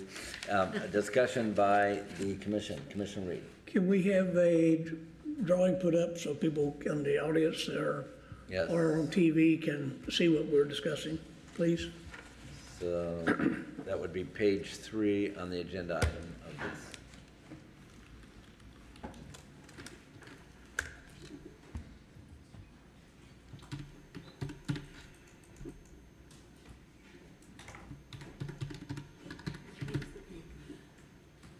Or this wonderful sheet of paper that you could just lay. There you go. So Carillon Lakes and Publix are at the top of that line, section A. And that's Carillon Lakes, and then down to just north of the airport on Drane Field Road. So that's at section four. And that'll be done in twenty twenty-two. Can, can you please elaborate and give us a brief dissertation on this, please, sir? Sure. Robbie Kness, Engineering Manager for Water Utilities. So the English Oaks project has been a long-running project. The biggest piece of it was to get the big line all the way out to Glendale. We've had two phases recently that are for more localized improvements. Um, Back in October, I brought you Section 3. That was on the other side of Harden Boulevard. Um, This section runs down Airport Road. And really, it was conceived to help provide that capacity further out the parkway near County Line Road. So this particular piece will um, construct the line. So it runs from the parkway down to Carillon Lakes, and generally, everything flows out the parkway now. We will redirect that flow down to Drane Field Road and anything else in the area, and we'll decide what kind of changes we want to make, adjust any valves or anything to, to redirect flow. But we're going to try and get more flow in this line flowing south to Drane Field Road, and that will reduce the, I guess, existing capacity on the parkway to allow for future development to come in for anything that runs further out towards County Line Road. Because right now, the only way to service those areas is to come down the parkway. And I don't see that changing anytime soon. I mean, it's a, it's a route, we're just making changes to get that capacity back, if you will. And you might speak to the English Oaks capacity too. So the, just generally speaking, we run a 30-inch line from about the airport all the way back to, to Glendale. I, I did some quick numbers the other day. An easy way to think of it is flow-based, and that line can run about 15,000 gallons per minute. And right now, there's only about 2,000 gallons a minute. Now, most of that has been kind of earmarked for Southwest Lakeland. We've, I've tried to be kind of careful and not let just any adjustments and changes be made. We might have some tight areas. If we all go jumping into that 30-inch line, before you know it, it's at capacity. And then we're going across town and taking another 15 years to make this all happen again. So we're, we're very picky and choosy with what we're doing. But right now, Southwest Lakeland's positioned very well for capacity. Great. Uh, Commissioner Read. Is this going to be, is this gravity or force main? What is it? This is going to be a force main. So the other thing, whenever we make changes, it's not easy just to connect the pipes because there's numerous pump stations all over the place. And just because they can flow into the pipe doesn't mean that they'll flow all that way. These pumps might start to challenge each other. So anytime we do make any changes, and this particular piece of the project is just kind of building the road, just the, the pipe, the conduit to get it down to Drane Field Road, in order to make any changes, we always have to go verify the pump station is capable of doing it, and then maybe make some changes if that's necessary. So yes, this is just a force main. Okay, uh, any other comments by commissioners? Anybody in the audience for questions? Seeing none, this is a uh, roll call vote as well. Voice vote. Uh, I'm sorry, voice vote, voice vote. All those in favor signify by saying aye. Aye. Opposed, same. Unanimously passes. Thank you. I believe that takes us down to uh, resolutions under utility, um, which is a resolution related to the Finance Committee item uh, that uh, you heard the minutes uh, for earlier in the meeting. Uh, That is proposed resolution number 21-084, a resolution authorizing the issuance of Steve Lakeland Florida Energy System Revenue Bonds, Series 2021, in one or more series, in an aggregate uh, principal amount not to exceed 150 $165 million to finance the acquisition of power generators to be located at the CD McIntosh Junior Power Plant, and all the costs of installation improvements and equipment related thereto, and other capital for the city's electric system, to the extent provided herein, fund reserves, if any, and to pay the costs of issuance related to such 2021 bonds, providing for certain terms of the 2021 bonds, establishing a form of the 2021 bonds, authorizing the mayor or such other officer and clerk to approve, execute, and deliver on behalf of the city a a registrar and paying agent agreement, and appointing the Bank of New York Mellon Trust Company, N.A., as registrar and paying agent for the 2021 bonds, authorizing the mayor or such other uh, authorized officer on behalf of the city to approve the form of a preliminary official statement with respect to the 2021 bonds and to deem said preliminary official statement final for purposes of of SEC Rule 15C2-12 and authorize the mayor or such other authorized officer and the clerk to execute and deliver on behalf of the city an official statement uh, authorizing the mayor or such other officer, uh, other uh, authorized officer uh, with the advice of the city's financial advisor to establish the principal amount, the interest rates, redemption terms, and maturity schedule of the 2021 bonds within certain parameters to award the sale of the 2021 bonds to the underwriters described herein on a negotiated basis and establish the conditions to such sale, approving the, the uh, form of a bond purchase agreement, authorizing the mayor, such other authorized officer, and the clerk to approve, execute, and deliver on behalf of the city a continuing disclosure agreement with respect to the 2021 bonds and approving Digital Assurance Corporation LLC as disclosure dissemination agent thereunder, authorizing uh, certain city officials to take actions deemed necessary or advisable in connection with any of the foregoing, providing for other matters relating thereto, and providing an effective date. Move approval. Motion to approve and a second from Commissioner Madden. Uh, This is a $10 million lower than we had originally proposed it, and that was because of the movement of the uh, gas line north of 33, which we took out of it, and figured to be able to phase that in at a later time as those expansions take place um, out of the oper- operating capital budget at that time. Uh, So that ma- makes the cost less as we go forward. These are for the projects that we're just trying to accomplish to make the earlier mentioned items happen. Uh, So any discussion or questions by the commissioners? Any questions or comments from the audience? Seeing none, this is a roll call vote. All, we'll start with Commissioner McLeod. Aye. Yes. Aye. Yes, Aye. Aye. Aye. unanimously passes. And I'm going to circulate a certificate uh, uh, relating to uh, the Sunshine Law and conflict of interest that you have to sign as part of this bond issue, uh, just signifying that you haven't uh, violated the Sunshine Law and discussions relating to this issue, and also that you don't have a financial conflict of interest with any of the uh, underwriters uh, for this, this uh, uh, bond issue, which are Citigroup, Wells Fargo, and Bank of America. So I just need you to each sign that and return it back this way. Very good. Um, That brings us to C1. C1 is an agreement with Oracle America uh, for uh, an upgrade to the city's uh, meter data management uh, application. Uh, The current uh, application uh, will no longer be supported uh, as of March of 2022. Uh, So what what we're doing now is, is, is is going with Oracle's transition to the cloud for purposes of, of of this function.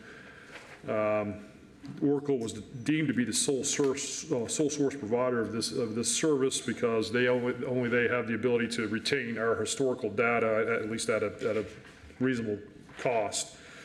Uh, So uh, what we're uh, recommending is that you enter into this agreement with Oracle America uh, uh, to, for their new data management, meter data management system. It is a five-year agreement um, beginning in January of 2022. Uh, The total cost of the agreement over the five years is $1,873,411.60. That will be paid quarterly, uh, starting with the third quarter of FY 2022.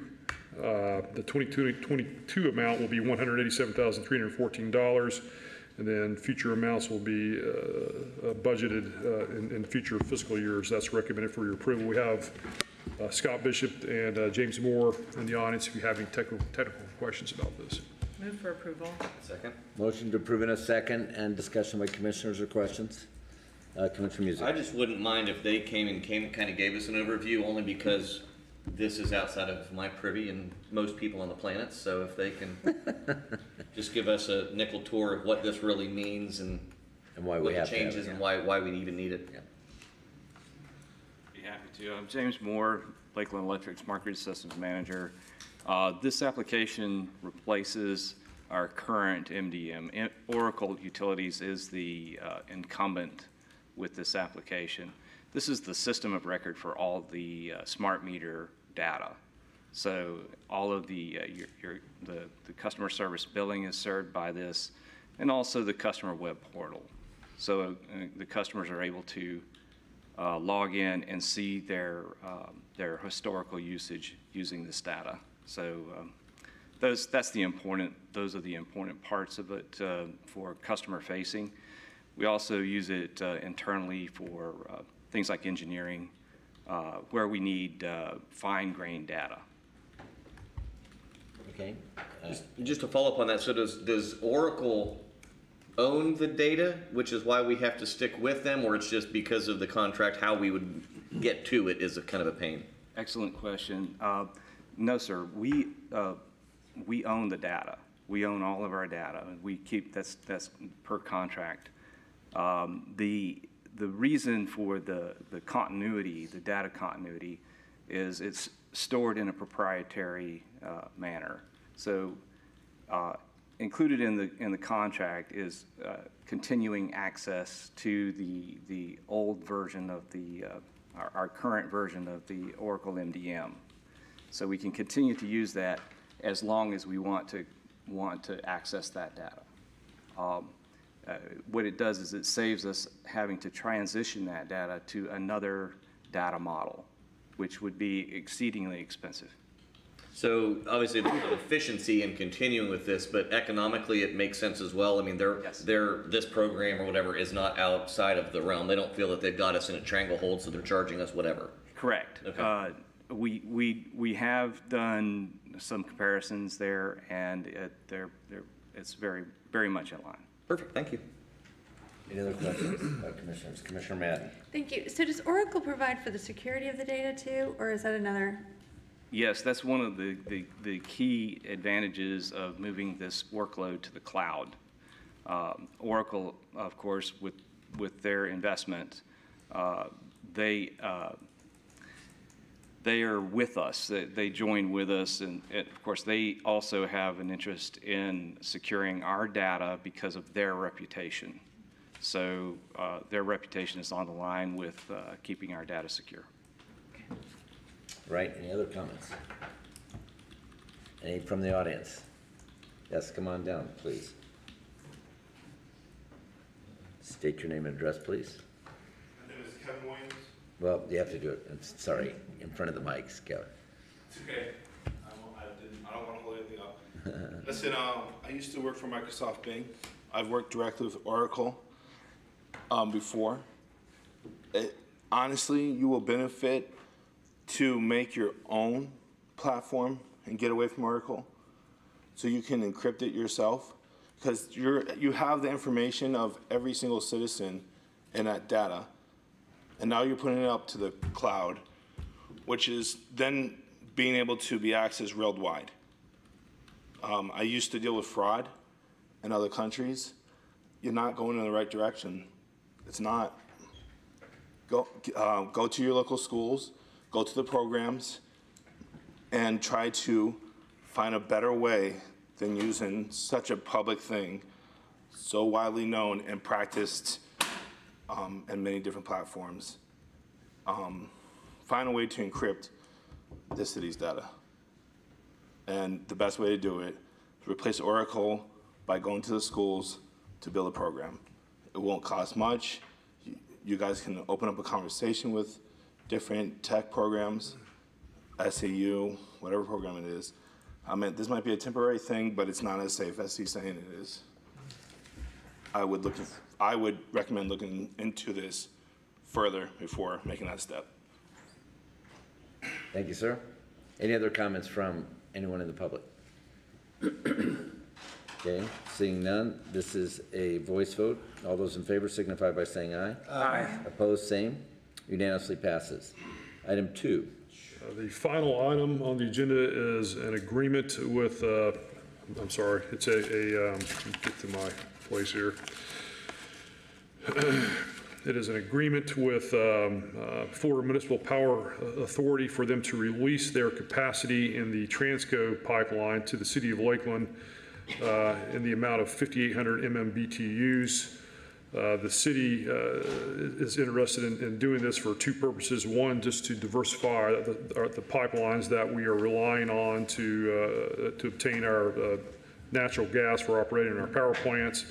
And the second reason for this is that we have a- an agreement with the city of Leesburg to purchase 5,800 MMBTUs of natural gas at a, at a discounted rate, uh, a favorable rate, and need this additional capacity in the Transco pipeline uh, to facilitate that transaction. Uh, Under this agreement, uh, we would be pur- purchasing FMPA's capacity in the Transco pipeline through April 30th of 2026. Uh, And the total cost of that purchase of their capacity would be uh, $208,059 per year uh, for a total cost of $917,739 uh, through April 30th of 2026. Uh, This would be funded uh, through an appropriation in Lake Electric's fuel budget uh, that will be presented to the city commission in August of 2022. It's recommended for your approval. motion to approve. Move approval. Second. And a second. Discussion by commissioners. Any discussion by the audience? All those in favor signify by saying aye. Aye. Opposed, same. Unanimously passes. Uh, That takes us to the end of our uh, meeting, and it- with the exception of two other matters. And then uh, the first is audience comments. So anyone in the audience who would like to speak on anything, as limited to five minutes, just state your name and address and come forward, please. Come on down.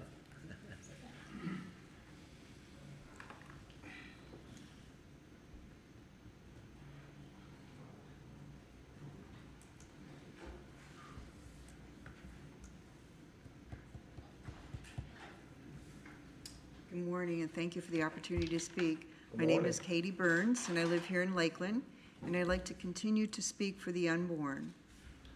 Psalm 139, our Father says, He knows us as we are formed in the womb. And if He knows that that's life, I think that's enough for all of us. Thank you. Thank you, Ms. Burns. Anyone else?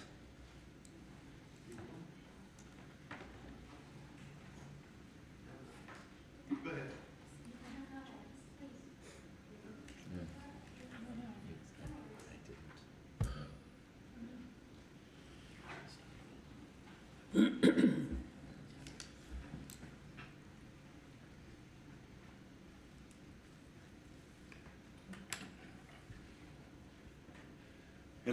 good morning. Morning. My name is Jerry Kimmel. I live here in North Lakeland, have since 1984, so I consider myself a law-abiding, tax-paying citizen. Hopefully, hopefully an asset to the city. Um, I was going to try to explain the whole meaning of life to you in three or four minutes, but I don't know if I have time for that, so. Uh, I wanted to just talk for a minute about Solomon, who was considered to be the wisest and richest man who ever lived. And uh, you've all heard of Solomon. Uh, long story short, he he had more money than he knew what to do with. He had more wives and concubines, 600 of them, that you would ever want to have. Uh, I don't know how in the world he ever did that, but in Ecclesiastes 12, 13, he said, this is right at the very end of the book of Ecclesiastes, which he wrote. This is over 3,000 years ago. The wisest man who ever lived said, Let us hear the conclusion of the whole matter. Fear God and keep his commandments, for this is the whole duty of man. So he had it all, but it was, it was never enough. He realized at the end of his life, it was all going to be left behind him for the next guy to come along. So why Why are we here today? Why is everybody in this room here today? Well, we value life. We value eh, the life of every man, woman, boy, and girl in this city. Uh, we feel we make a difference. We feel our lives are valuable. What we think, what we say has meaning, has value. Uh, it's, it's not insignificant that we, we meet and talk. Uh, my fa- the favorite speaker that I ever used to listen to, uh, Ravi Zacharias, would say, he, he, he came up with this, I don't know if you call it an algorithm, but he said there's, f- there's four things that all men seek in this life. And these four things are origin, meaning, morality, and destiny. Uh, I first heard him say that when I was driving down the road, and I almost drove off the road trying to find something to write with so I would not forget what he just said. It was so profound. There's four things that all of us are seeking in this life origin, meaning, morality, and destiny. You know, origin. Who am I? How did I get here? Meaning, you know, what is life? What is life about? You know, is all we do is all we're doing is living and dying, and then that's it? Is, there more to life than that? Morality. What is truth? What is the ultimate absolute? What is true? And then finally, destiny. What happens when we die? Is there something that happens when we die? Uh, well, the Bible, according to the Bible, there, there's, a, there's three words in the Bible that are very, almost scary if, you, if you've never heard them before. Hebrews 9.27 says, For it is appointed unto men once to die. But then the next three words, it says, But after that, the judgment. So there is something that happens after we live and die and, and we are gone from this earth. After that, there is eternity forever out there. And so we want to we want to know that we're going to be standing before God. You know, God is going to be the judge of all of us, and we have to stand before Him one day and give an account of what we've done in this life. Uh, I have some quotes from some great men, and I'll. Tr- I think we need to hear what great men think. I think if we think what we have to say is important, let's see what some of these great men had to say. Okay, here we go. Noah Webster, and I'll be quick. Noah Webster said, Great authorities are great arguments. I'm just going to start quoting and then I'll tell you who said it. It is impossible to rightly govern the world without God and the Bible. George Washington. It, it, the Bible, is the rock on which our republic rests. Andrew Jackson, seventh president. Take all of this book, talking about the Bible, that you can by reason and the balance by faith, and you will live and die a better man. It is the best book which God has ever given to man. Abraham Lincoln, 16th president. Uh, I'm going to skip a few. Oh, I want to go down to this one because this one was so good. Franklin Delano Roosevelt, 32nd president, said, The influence of the scriptures in the early days of the Republic were plainly revealed in the writing and thinking of the men who made this nation possible. They found in the scriptures that which shaped their course and determined their action. And that's what should, should shape and determine our course and action. Thank you, Mr. Kimmel, very much.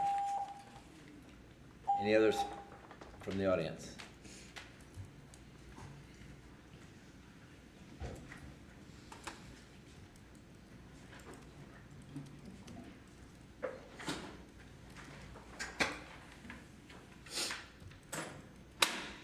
Good morning. My name is Eileen Swiler, and I would like to speak in opposition to the previously commented upon abortion ban in Lakeland.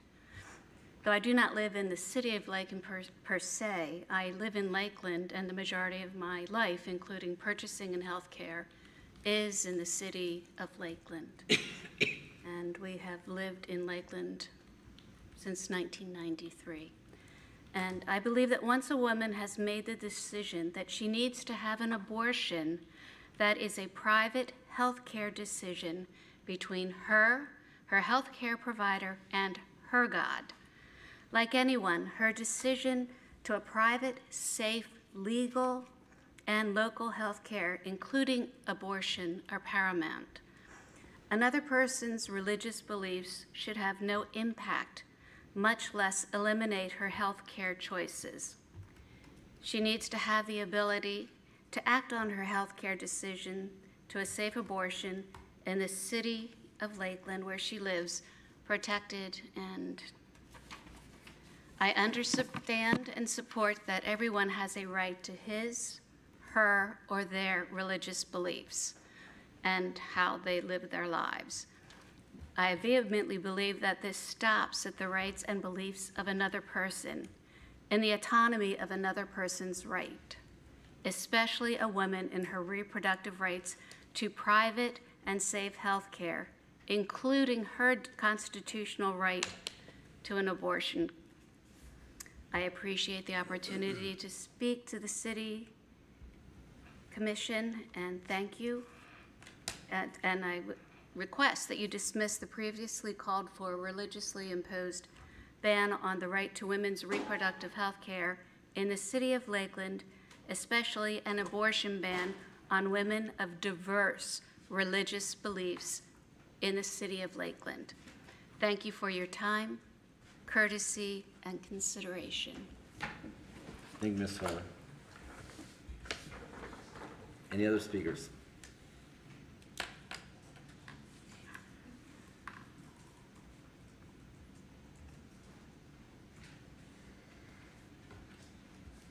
Well, I'm back again. My name is Carol Odis, Lakeland, Florida, for years, a taxpayer as well, and a resident here. I wasn't gonna say anything today until I heard the CEO from Lakeland Regional Health come up here and what she had to say and the vision that they have in the, in the city of Lakeland. Healthcare, the medical students coming in and everything that would make Lakeland the greatest place that we need to have a hospital like that, and especially with the competition that's popping up everywhere else. So that made me think of what these people are saying about the abortion situation. Lakeland Regional Health does not perform abortions. They've opened up a beautiful pavilion there for, for actually for fetal care for babies that are in trouble to save them and to help them. So I was wondering why they're, on the contrary, down the other end of the Florida, South Florida Avenue, there's that situation going on. Why can't we hook up with Lakeland Regional Health and go forward and make it a sanctuary city and help babies instead of ridding of them? Other, if the mothers want to have an abortion, let them, I don't know what else to tell you, but Lakeland should be on the same page. Thanks. Thank you. Come on down front, please. Yes, it's a different topic. That's fine. It's gonna be the same topic. Um, I was originally. No, no, I, I I meant a different topic than your earlier comment. Oh, okay. Just Make all your comments from the podium. Just- No, I was not preparing for that, but it's a different topic now. Well, okay, but back to what I was gonna say. I emailed you guys with three suggestions, um, last Monday, because I wasn't sure if if I had it on time. And I'll pull that email up. It's been saved on my phone right here. Okay, the first suggestion is um, going to be cons- take into consideration of the heartbeat law. Texas adopted this, other cities are working on this, and, and six other states. It's not imposing on what this lady is saying, making the decision. it's saying when the baby has a heartbeat, we're not going to stop that heartbeat. um, that's like six weeks. Her, dis- her statement is saying, saying stopping abortion 100%, and I would love that, but it's not opposing what she's saying at all. I do live in the state, I do live in the city, city, city uh, limits. We have many churches, probably we have more churches than most other cities. And I think there's a strong sense, if you would want to each church, tens of thousands of people would say, totally get rid of abortions. All right, so that leads me to the second one. So the heartbeat law, look into that. I did, I did go ahead and forward you the bill that's already been made into law in Texas. So this is not new. so the next one is, we want to put up a, a ordinance that says, if somebody infringes on my rights or somebody tries to coerce my sister or somebody they get them to a room, and they do this a lot, and they tell them false information. They bully, they bully them in some sense. They say, "Oh, how are you going to afford this baby? How are you going to do this? How are you gonna that?" They're not telling ways to afford the baby. They're, they're putting the pressure on them when there is a father and a mother involved in every single birth, and the father's rights are overlooked by far, and his his religious beliefs as well.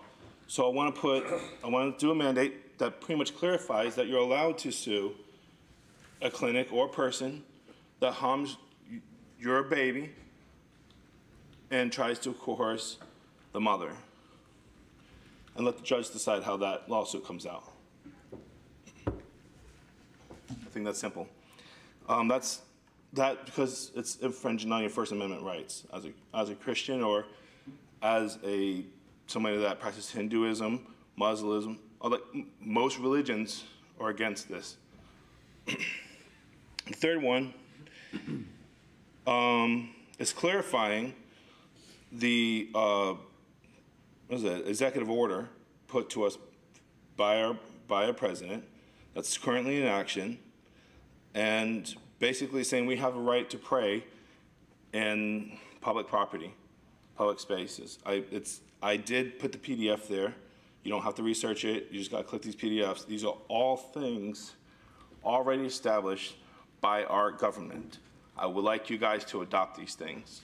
So if I'm in front of an abortion clinic and, so, and I see somebody walking in, I can ask them, hey, would you like to pray? Or I can have a shirt on that says, hey, I'm not boycotting ab- abortions, but just saying, you know, style Christianity. Or hey, or just saying, would you like me to pray for you? If your mind's set up to go to that operation and to kill off your child, I'm gonna pray that hopefully you change your mind, or at least God would protect you and your child. So I don't think we should stop people from praying on the sidewalk, regardless of where it's at, or any public space, as there's amendment, sorry, there's a um, presidential mandate um, already sent to you in your email. It's already in action. All three of these things are bills, uh, executive orders, and the First Amendment infringement that I want to to say, and and you have it. I already emailed it to you. I think this is the easy, the three easy decisions that might be controversial, and I know you guys like to not to vote uh, in the opposite way of each other, but don't think about what the committee thinks. Think about what you think. What you think is right. That's it. All right, thank you, Mr. Williams. Anybody, any other comments? All right, seeing none, that ends our um, audience portion.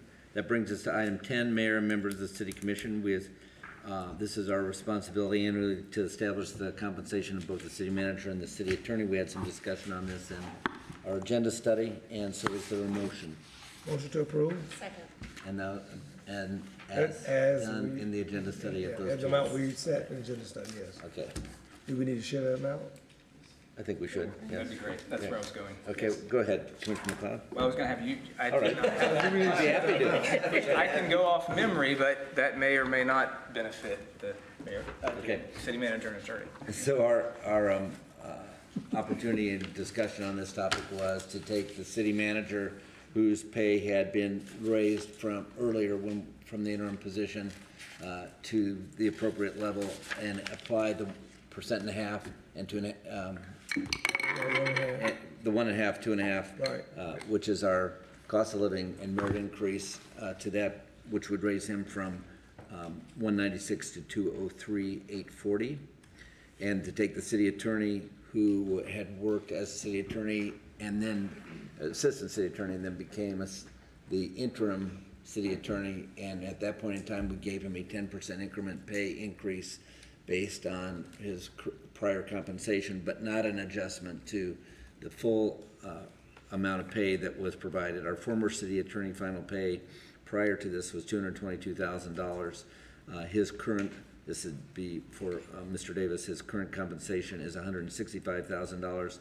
So we would make an incremental increase uh, to bring him up to really a little slightly under market. but appropriate, much more appropriate in terms of pay to, um, of twenty-five thousand dollars from the one sixty-five to take him to hundred and ninety thousand dollars. So that was the proposal. Those are these two individuals sitting at the end of the bench, which is slightly embarrassing for them to sit there during this discussion, but that's the nature of the beast. Uh, Commissioner Musick. Yeah, and if we could um, add to that, that this comes off the heels of us just finishing up our um, review of both of them. So, um, and, you know, you, somebody could talk a little bit about the results of that and, and how well we thought that they were doing, which, but. Um, Yes, go ahead, Commissioner McLeod.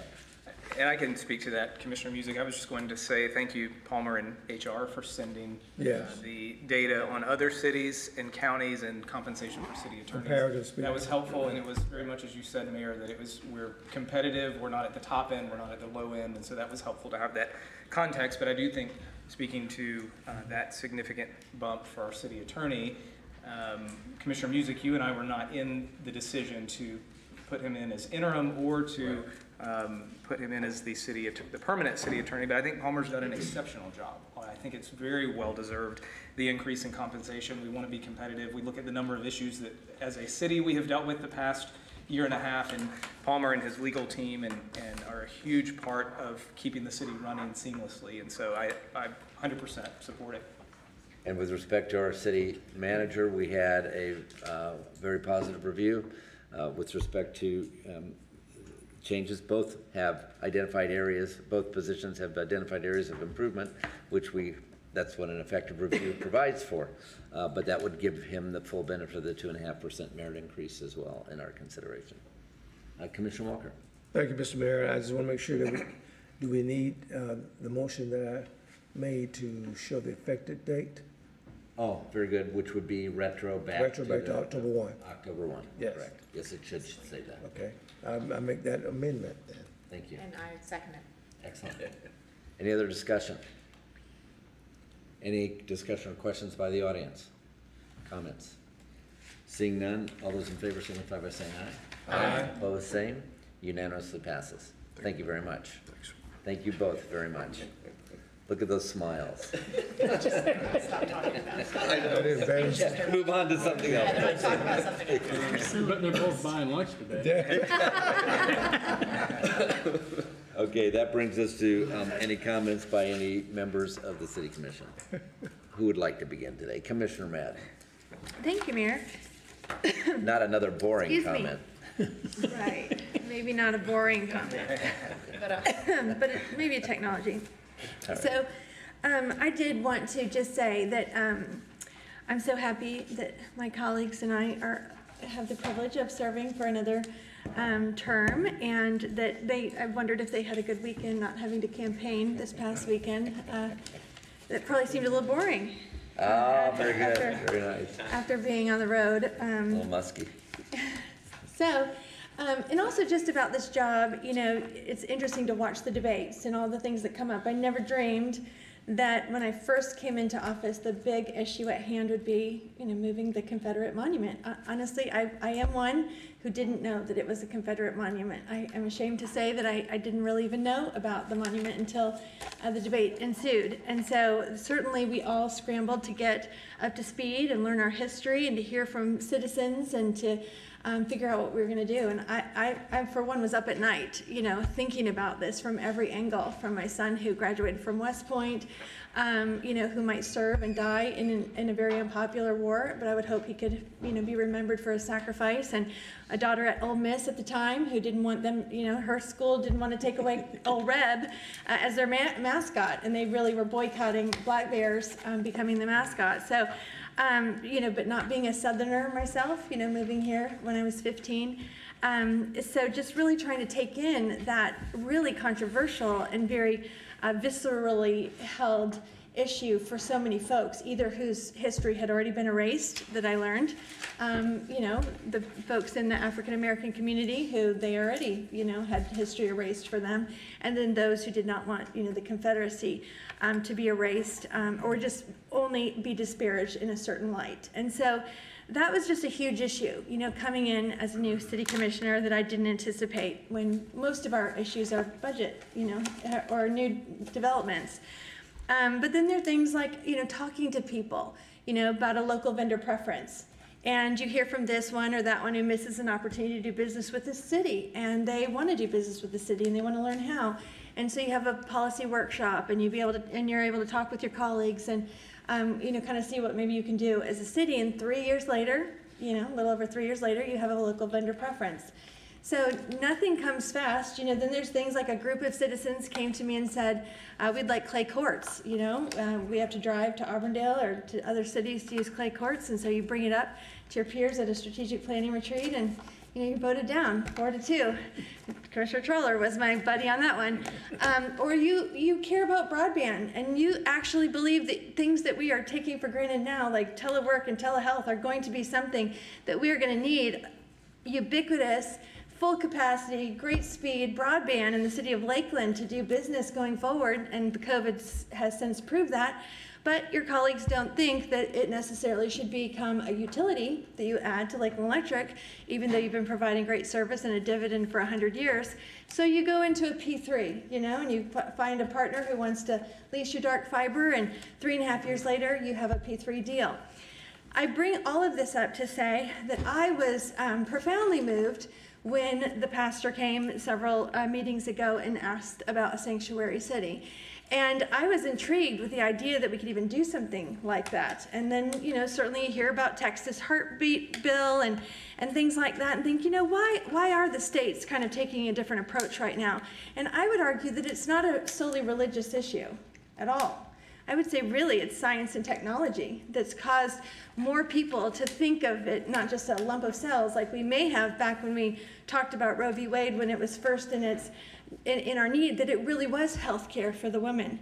But now that we see in a 3D ultrasound how much of like a person that little fetus looks and when they are able to survive outside the womb earlier and earlier, I think people's minds are changing on this issue.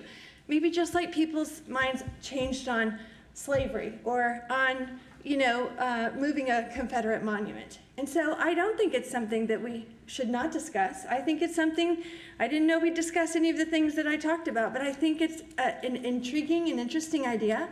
Um, you know, there's prohibition. There's times in history where we think alcohol is fine, and then there's other times where we think alcohol is not so fine.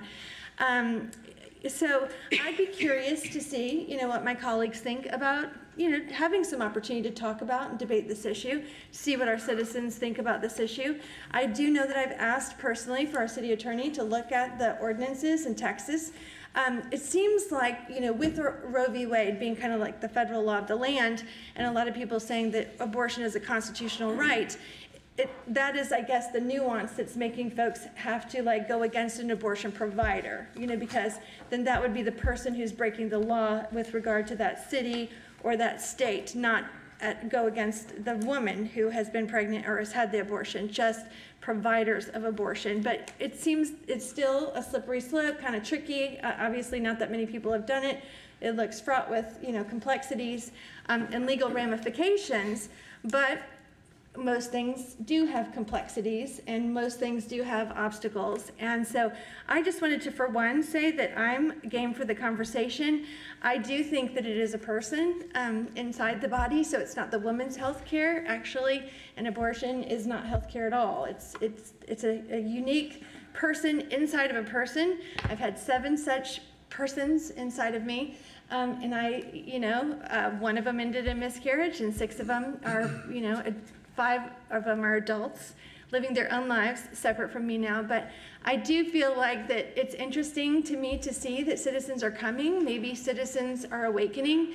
Maybe the country is moving towards a different view than it's held before.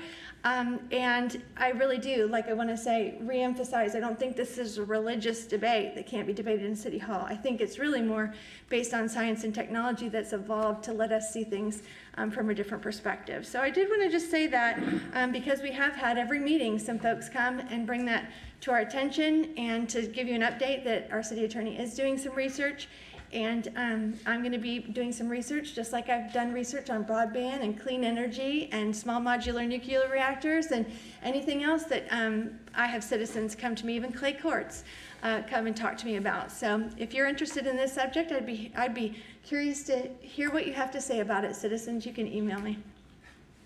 Thank you, Commissioner Madden. Commissioner McLeod. Well, I was, along those lines, I was going to ask our city attorney to share a legal perspective. Commissioner Madden, while I am strongly and passionately pro-life, I think there are legal considerations and things that if a city goes down this road, um, when this issue is being discussed currently and debated uh, at the Supreme Court level, I think the ramifications and, and uh, I would like Palmer just to speak to that and that should be part of the discussion for sure. Okay, sure, certainly. I mean, there, there's obviously the merits of the issue that we can debate. Uh, I think the focus for this body should be the role of local government in the issue. And regardless of how you feel about the underlying issue, currently abortion, uh, at least at, at certain stages, is a lawful procedure. Uh, that's received protection from the Supreme Court. It's also recognized in Florida statutes and by uh, the Florida Supreme Court. Uh, so that, that is the, the blunt fact that you, that you're, you're up against is, is that, that it is a lawful procedure in the state of Florida. So to ban uh, an existing abortion clinic would, I think, immediately result in a, in a, uh petition for a, a temporary emergency injunction and, and, a, and a permanent injunction. And, and the way that the law is right now, I would not think that you would succeed in that ban. Uh, So uh, that, that, there, as, as uh, Commissioner McLeod alluded to, there's a lot going on at the national level. The, the, the, the Texas heartbeat law is, is making its way to the Supreme Court. The Mississippi law on, on viability is also scheduled for, I think, oral arguments uh, December 1st or early December. Um, So there's a lot in flux at the federal level and, and and at the state level as well. But the, the, the, the question is, what role can a city commission, a city government play in that issue? And, and I, I don't think that you're in the strongest position uh, uh, to address that issue. I think that is, is something that needs to occur at the state and federal level. So are strip clubs legal? How do we do, how, how The, the statement was made that we've banned those adult use establishments in the city, and that's not entirely accurate. Um, we have separation requirements for adult use establishments, similar to the, the separation requirements we have for bars and nightclubs. And, and to establish those types of, of restrictions, you, you need a factual basis for that. I mean, you need to be able to show that there's some kind of externality that's affecting the surrounding area uh, in order to support an ordinance such as that. Commissioner Walker. Thank you, Mr. Mayor. And, and I guess I've been waiting for this opportunity. So, Mr. Commissioner Madden, bringing the subject matter up, being a pro-life person myself, you know, I, I have to make sure that um, I understand, as Commissioner McLeod alluded to, and our city attorney as well, where is the role of local government in all of this? When we have this particular subject that's being faced here in our country, on national level, and our state, on state level, where does we, as a local representatives of the elected official, elected officials for our city, where do we, where do we lie? And where, what rights of what do we have to go along to support what has been asked on both sides?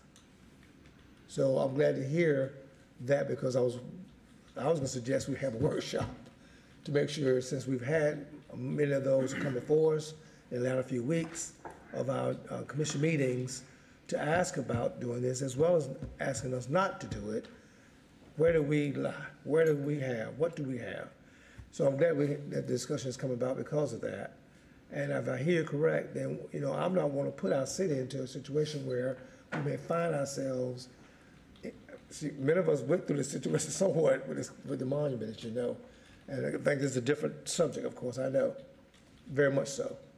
Uh, and I don't want to find ourselves, you know, here we are having a debate and not have significant, significant, um, I guess, law or whatever uh, to stand on to do anything at all as a, as a municipal government. And that's where I that's where I stand, even though being a pro-lifer. That's where I stand still, because I'm still an elected official to serve all people. And you said some, uh, Commissioner Mann, that I think we, I think it's so important that we kind of make sure that we understand too, not about so much the abortion, uh, not the abortion or abortion uh, subject matter, but just making sure we have a city that we want to make sure all are included.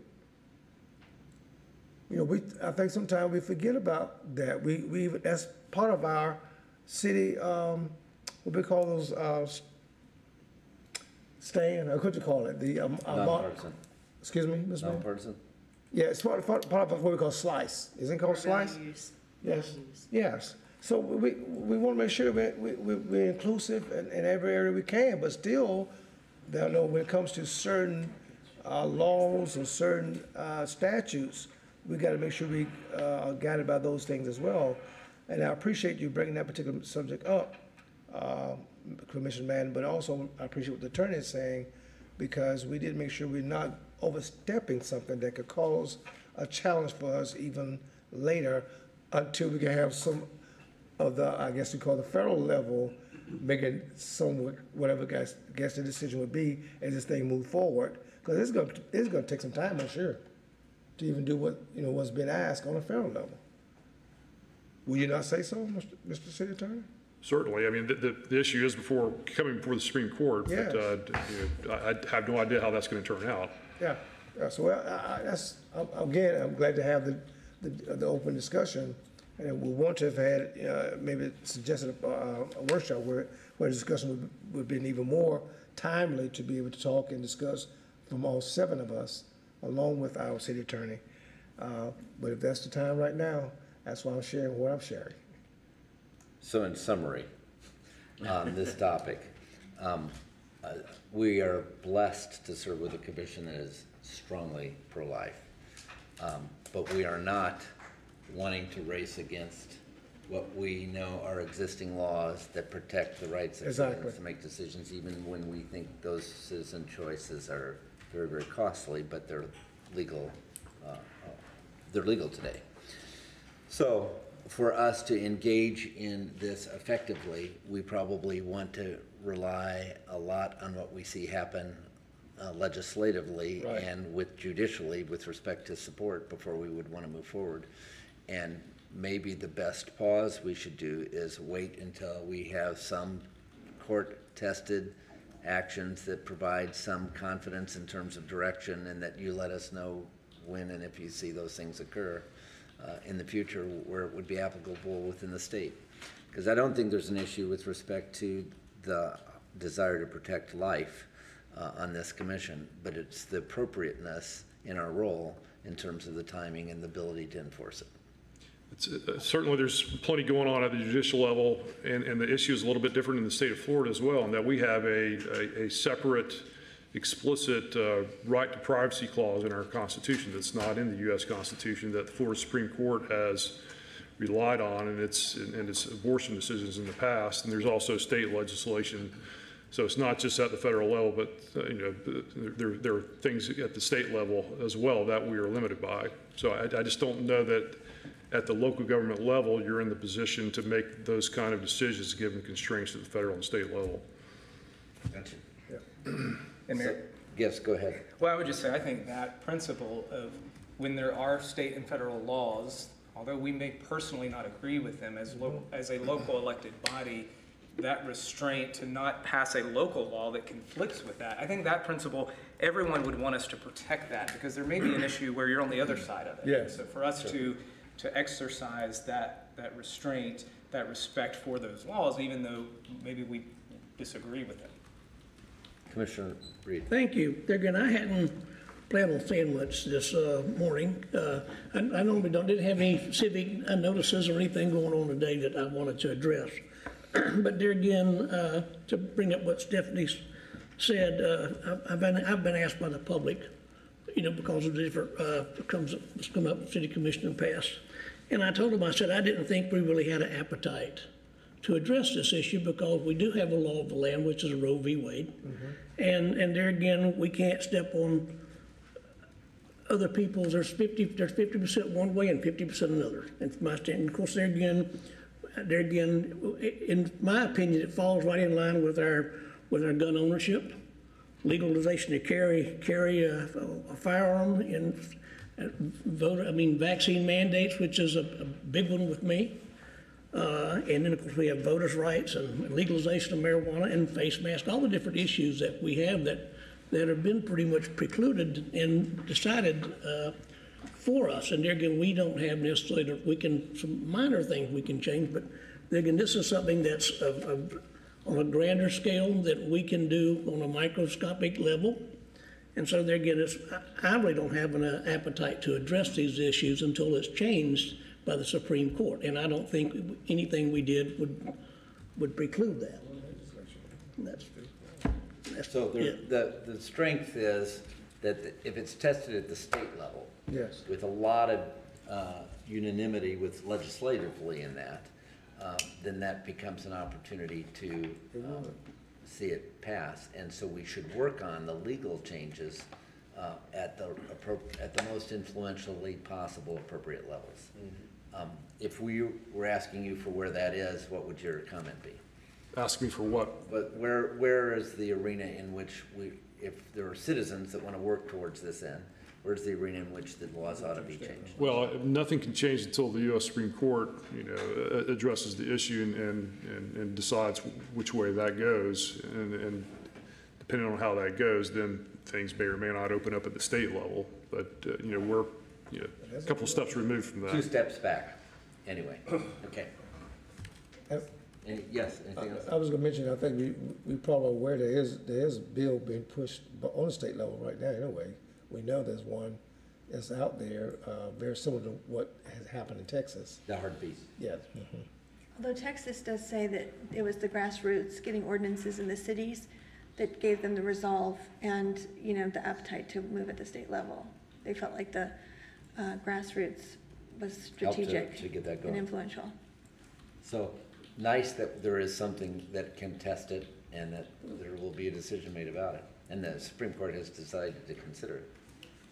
And we'll be taking it up. Yeah, they'll be taken up, yes. Just a comment, I don't have the appetite really until we know from the Supreme Court level how to push this forward. I think we need to stay in our lane, and I think that single issue voters and single issue minded discussions really cause a ripple effect in all the other day-to-day parameters that we should be working within as far as land use and other things that we really can control and that we really do have purview over and responsibility too. So I think sometimes, whether you agree or disagree on this topic, you can get hijacked very mm-hmm. easily into a social issue that would preclude us from getting our day-to-day work finished.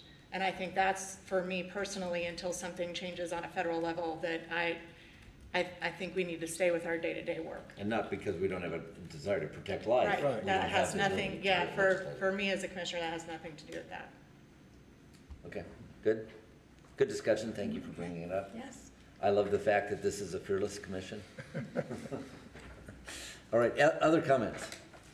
Yes, Commissioner Walker. Happy Thanksgiving. Oh, and Oh, hard to I won't believe, isn't see you all, I guess, until after Thanksgiving. Just kidding. You throw me away to Christmas? No, Just kidding. no way. No, but happy Thanksgiving to each and every one of you, and of course, all of our citizens here in Lakeland. Happy blessed Thanksgiving. Thank you very much. And much. we uh, hope you all have time with family, which is so important.